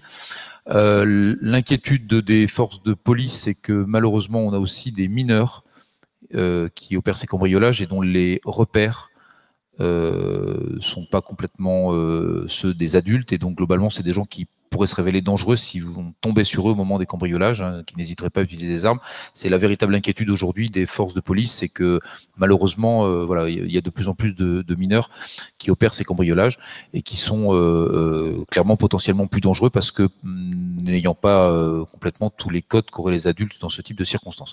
Voilà, donc donc on n'a pas de, réponse absolue si ce n'est qu'on on travaille, on continue à travailler en très bonne coopération avec les forces de police. Alors on a eu euh, de temps en temps quand même on, on met la main sur euh, voilà sur euh, un certain nombre de personnes et il y a eu une arrestation il y a deux jours par la BAC dans une commune voisine d'un réseau qui volait des pots catalytiques hein, puisque vous savez que les maisons sont visitées mais les voitures aussi également avec des modes opératoires qui sont stupéfiants de vitesse, hein, puisque les vols s'opèrent parfois en moins d'une minute, hein, avec des, voilà, des, des, des, gens très bien organisés euh, qui répondent à des commandes. Hein, tous ces réseaux sont connus, donc, euh, donc euh, voilà, on, on, essaie de, on essaie de, de s'organiser pour les contrer, notamment en variant les horaires, puisque ces gens sont très bien renseignés. Donc, euh, il faut évidemment que nos forces de police, qu'elles soient municipales ou nationales, ne sont pas dans une routine, puisque les véhicules sont assez facilement identifiables.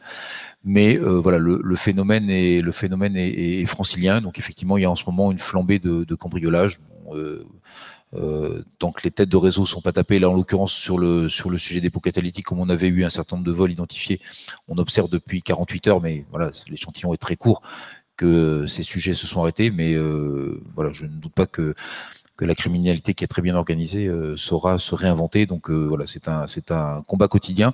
Euh, ce qui est sûr, c'est qu'on voilà, on, a on a vraiment une très bonne coopération avec les forces de police et que c'est sans doute la, la meilleure réponse, c'est qu'on a une police municipale qui est assez exemplaire dans la dans le recueil de renseignements et dans la transmission du renseignement à la police nationale et, et un certain nombre d'affaires, vous le savez, ont été résolues ces derniers mois, notamment grâce à la qualité du travail de nos policiers municipaux et du CSU. C'est un vrai travail en coopération qui permet d'exploiter au mieux, et ça va me permettre de revenir sur la question des caméras, ce que les caméras euh, qui sont déployées sur la commune peuvent faire. Alors, à la question, est-ce qu'il ne serait pas temps de, renforcer sérieusement Alors, je, je, rappelle quand même qu'au budget 2021, on, on, a voté pour plus de 220 000 euros de déploiement de caméras hein, pour 17 caméras, donc euh, euh, c'est pas tout à fait rien. Hein, et dans l'équation budgétaire, euh, on a on a fait des arbitrages l'an dernier parce que par rapport au nombre de caméras qui pouvaient être implantées, on pouvait en implanter deux fois plus, mais on a privilégié les caméras qui à la fois étaient le plus utiles et celles qui étaient le mieux subventionnées. Hein, ça reste toujours un, exercice. Nous savons qu'il y a des endroits de la ville et notamment des entrées de ville, je pense au secteur euh, au secteur Charles de Gaulle côté ouest, qui sont pas vidéosurveillés aujourd'hui. Mais on sait pourquoi c'est pas vidéosurveillé, c'est qu'il n'y a pas de fibre et que l'installation des infrastructures, c'est pas les caméras hein, qui coûtent cher, c'est euh, le, linéaire de fibre qu'il faut tirer. Euh, il y a des endroits où euh, on va se re, re-questionner pour sécuriser les entrées de ville, puisque c'est en termes de de surveillance du territoire, il y a aujourd'hui quelques trous dans la raquette. Mais ce sera sans doute au prix de quelques arbitrages financiers, pas complètement anodins, et, on le repartagera avec vous. Voilà ce que je voulais partager. Euh, euh, évidemment, euh, si la question c'est de laisser les, habitants s'organiser en, club d'autodéfense, non, c'est pas la bonne solution. hein. On est attentif, on est réactif. Je rappelle que sur les caméras dont nous disposons, beaucoup sont fixes, mais quelques-unes sont mobiles. On a euh, la, la préfecture nous autorise euh, sept caméras mobiles sur des emplacements prédéterminés qui nous permettent de repositionner en fonction de l'actualité. Alors, elle peut être effectivement de, la nature que vous évoquez des cambriolages, mais parfois ça va être des problèmes de, euh, non-respect de la réglementation sur le dépôt de les dépôts sauvages. hein. Donc, ça, ça, nous laisse une petite marge de manœuvre pour être réactif et repositionner en fonction de, l'actualité sécuritaire de la ville quelques caméras et venir faire un focus pour, euh, pour permettre de traiter des points. C'est ce que nous avions fait euh, il y a de cela un an, euh, avenue du Parc, pour des problèmes de, de nuisance sonore et d'ailleurs un peu plus que nuisance sonore, et qui nous a permis de mettre une pression suffisante pour un propriétaire, qu'un propriétaire indélicat se remette euh, en conformité avec la loi. Voilà ce que je pouvais partager avec vous euh, sur euh, ce sujet. Ok, merci. Je vous en prie. Deuxième question. Oui, donc qui va faire écho à mon intervention de, tout à l'heure sur la restauration scolaire. Donc, Monsieur le maire, une de vos promesses de campagne était la modification des pratiques de la restauration scolaire, notamment l'élimination des contenants en plastique, l'amélioration de la qualité nutritive des aliments, le report, au circuit court. Nous vous avions interrogé sur ce sujet en mars 2021 et fait partager l'inquiétude de certains parents sur les modalités de dénonciation, notamment du contrat avec le prestataire euh, de l'époque, Scolarest. Pouvez-vous donc nous indiquer ce qui a été fait dans ce domaine, s'il y a eu effectivement un changement de prestataire et de pratique, s'il vous plaît, merci. Bien, alors, beaucoup de choses ont été dites, mais donc sous le contrôle de, de Madame euh, Parmentier, donc euh, à qui je demande de m'interrompre si je dis des grosses bêtises. Je vais, je vais vous redire un petit peu ce qui a été fait donc depuis euh, depuis mars 2021. hein. Euh, donc euh, évidemment notre équipe déjà euh, Madame Parmentier qui est là a une délégation à la restauration scolaire qui depuis s'est élargie, mais le fait d'avoir euh, affecté un élu sur le sujet témoignait quand même aussi de, l'importance qu'on souhaitait consacrer.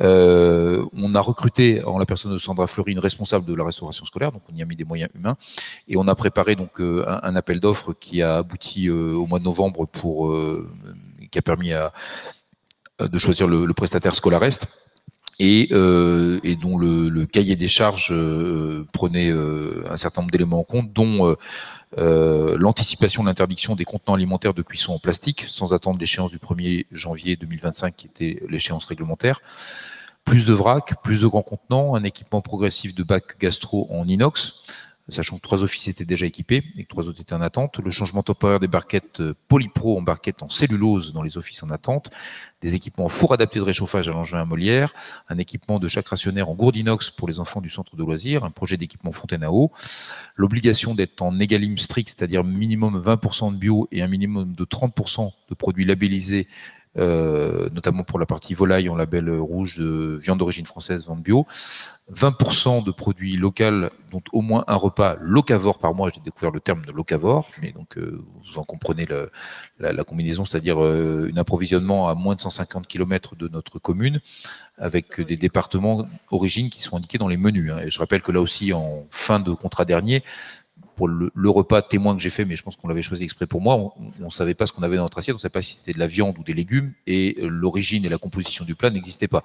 Donc quand Madame Alquier, euh, vous évoquiez effectivement le relâchement, on était quand même à ce niveau de relâchement, parce que outre le fait que ce qu'il y avait dans l'assiette n'avait aucun goût, c'était ni bon ni mauvais, ça n'avait juste aucun goût, ça n'avait aucune forme, mais euh, en sortie de repas, j'étais bien incapable de vous dire si j'avais mangé veggie, du poisson non, mais la viande laquelle, je n'en savais rien. Donc voilà, ces sujets de traçabilité sont importants deux jours avec euh, cinq composantes et deux jours à quatre composantes pour les, élé- les élémentaires, un double choix d'entrée, quatre composantes pour les maternelles, euh, un pain par semaine autre que du pain blanc, une fois par mois du pain bio, et donc euh, effectivement des repas à thème organisés, mais c'était pas le- le- l'élément central du, cahier des charges. Donc ce cahier des charges, alors évidemment, j'entends le reproche que vous avez tout à l'heure, on aurait pu tout partager, mais je rappelle que traditionnellement, une fois qu'une équipe majoritaire est élue, il y a un certain nombre de moments où on prépare des cahiers des charges, des appels d'offres, et qu'on met pas tout en débat, mais voilà, il n'y avait rien de particulier à cacher. Le niveau d'exigence euh, était soutenu. Alors, il, fallait qu'ils permettent quand même aux acteurs de répondre. hein. Le sujet, c'était quand même pas non plus d'avoir un cahier des charges. euh, Ça arrive de temps en temps qu'on s'amuse à, notamment dans la restauration, hein, à à avoir des cahiers des charges très élevés et avoir aucune réponse. Donc, il fallait quand même être en, en phase avec ce que les prestataires connus, puisque je crois que les trois grands prestataires ont répondu à, à notre cahier des charges, euh, soient, soient capables de, de nous apporter dans les délais. Et donc, euh, c'est dans ce cadre-là que, que le cahier des charges, enfin, que le, le marché a été réattribué à, à Scolarest euh, depuis le mois de novembre. Madame Parmentier, est-ce que vous voulez compléter ce que j'ai dit sur la base Oui. de, de vos éléments d'éclairage? Merci, monsieur le maire. Oui, je voulais juste rappeler que la loi Egalim, euh, que l'on applique en Egalim strict, là, euh, tous les détails que vous avez donnés sur les 20% bio, 30% de, de produits labellisés, c'est obligatoire à partir du 1er janvier 2022. Donc, c'est pas un choix euh, spécifique de faire du bio. Je, crois que c'est Madame Fauvel qui nous a interrogé tout à l'heure dessus. C'est une obligation comme euh, l'obligation du menu végétarien par semaine, un menu végétarien par semaine. On a pris effectivement le parti de prendre cinq composantes sur certains jours, notamment le jour du menu végétarien qui n'est pas encore très apprécié par les enfants. Euh, le pain est donc euh, autre que du pain blanc parce qu'on est parti aussi euh, sur un objectif pédagogique, que les enfants mangent autre chose que de la baguette. Donc les, premiers pains aux céréales ont ravivé l'imagination des enfants. Voilà, donc le, nouveau contrat et les- les nouveaux menus ne sont là que depuis le 8 novembre, donc c'est quand même très récent. Pour l'instant, nous avons de très, de très bons retours. Alors, je, moi, je reste ouverte à toutes les, toutes les remarques, bien évidemment. Je rappelle aussi que les associations de parents d'élèves ont toujours été conviées aux commissions de restauration. Donc, nous en avons fait une avant l'été. La dernière date du 16 novembre. Nous avons présenté tout le, effectivement, tout le nouveau euh, cahier des charges. Euh, et ils sont toujours, euh, comme euh, on le faisait auparavant avec l'ancienne équipe, dans l'élaboration des menus. Ils donnent toujours leur avis. Alors, après, à la question de, de l'appréciation, euh, puisque ce qui, ce qui est objectif, c'est la facture. Ça, on sait objectiver l'augmentation de la facture, on l'a partagé tout à l'heure.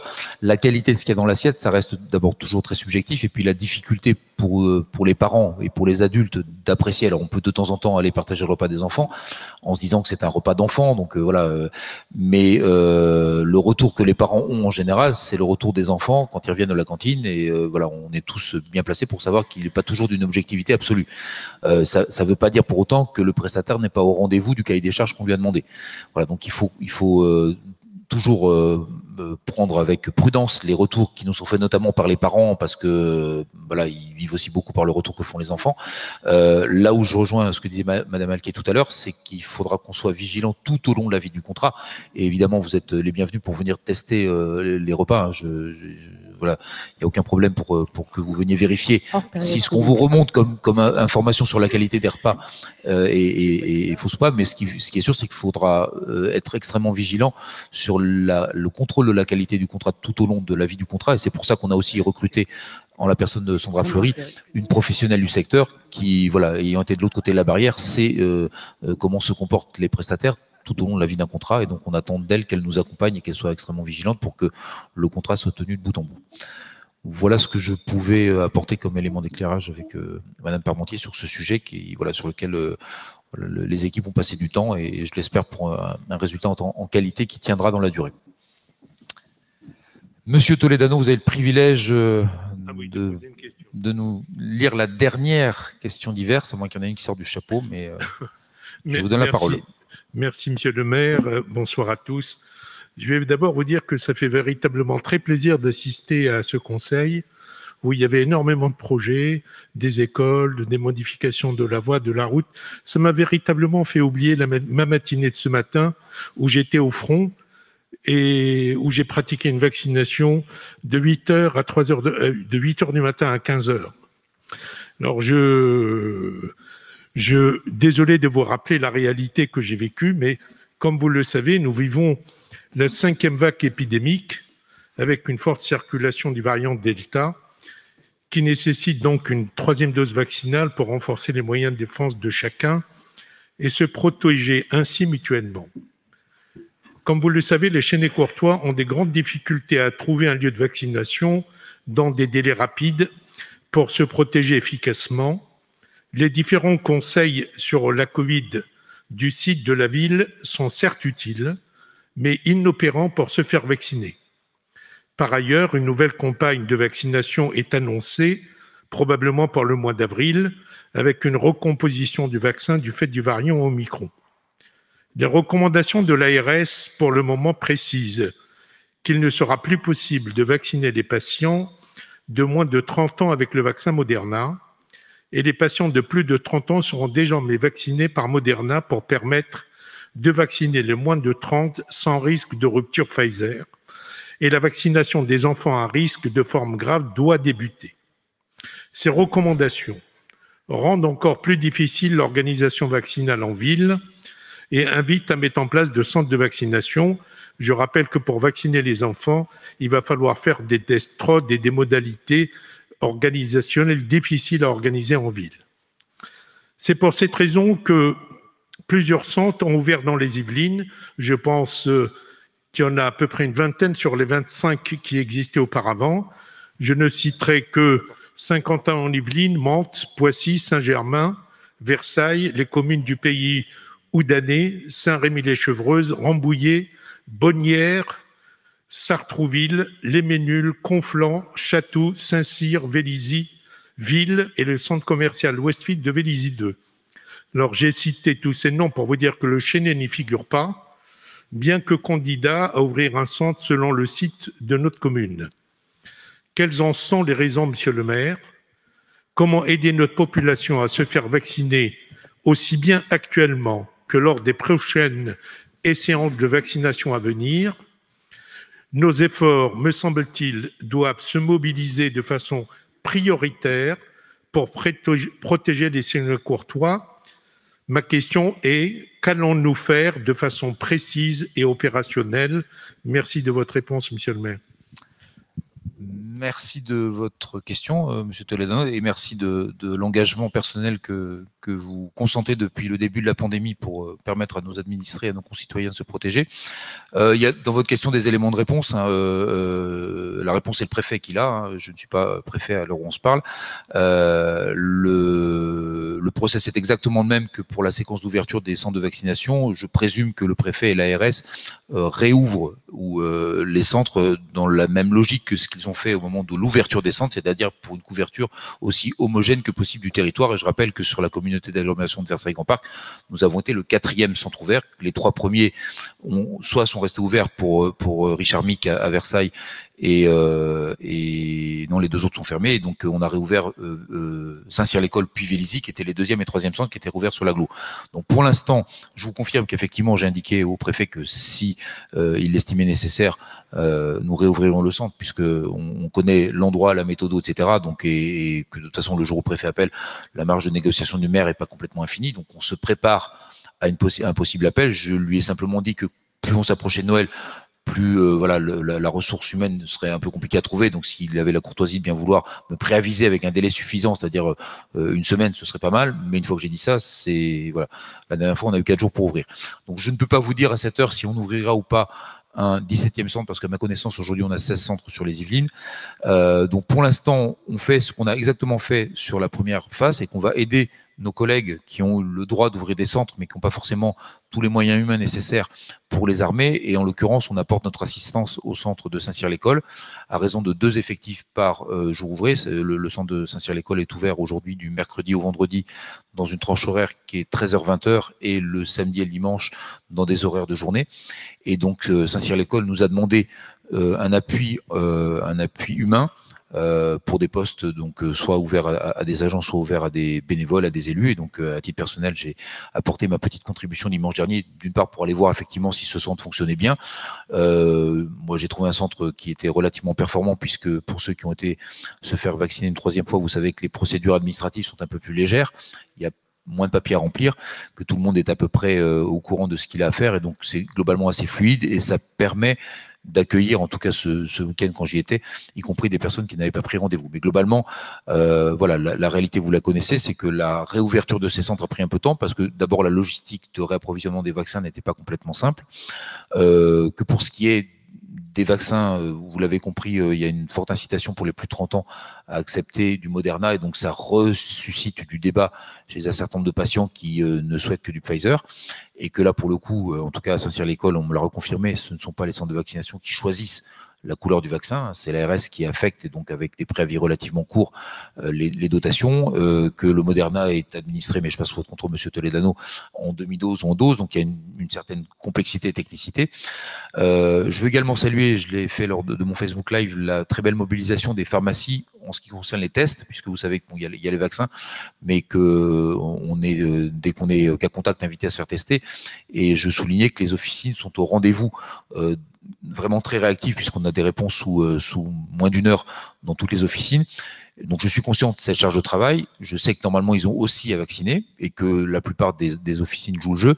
Et évidemment, on est conscient que pour les, la médecine de ville, l'organisation de la vaccination est un peu plus compliquée quand vous êtes seul dans votre cabinet que quand on est dans un centre. Mais une fois que j'ai dit ça, euh, je le redis, c'est pas le maire qui décide seul de l'ouverture de son centre de vaccination parce qu'il peut ouvrir son centre, mais s'il n'a pas de vaccin, il va pas être d'une grande utilité. Donc euh, la, la ville reste évidemment à la disposition de, de, de l'ARS et de la préfecture si le besoin se fait sentir de l'ouverture d'un centre. Euh, à l'heure où je vous parle, je, je pense qu'aujourd'hui, on n'est pas loin de la du plein régime pour tous les centres qui ont réouvert. En tout cas, il y a eu une montée en puissance les premières semaines, c'est tout à fait normal. Si euh, la situation sanitaire l'exige, mais euh, comme vous, j'écoute les informations et donc le, le pic de la cinquième vague était annoncé mi-janvier est brutalement revenu mi-décembre. Donc je, je, ne peux que souhaiter que finalement ce, ce, cette cinquième vague s'arrête plus rapidement. Mais j'ai entendu comme vous qu'il y a un certain nombre de publics qui étaient pour l'instant pas éligibles à la vaccination, notamment les très jeunes publics devraient l'être.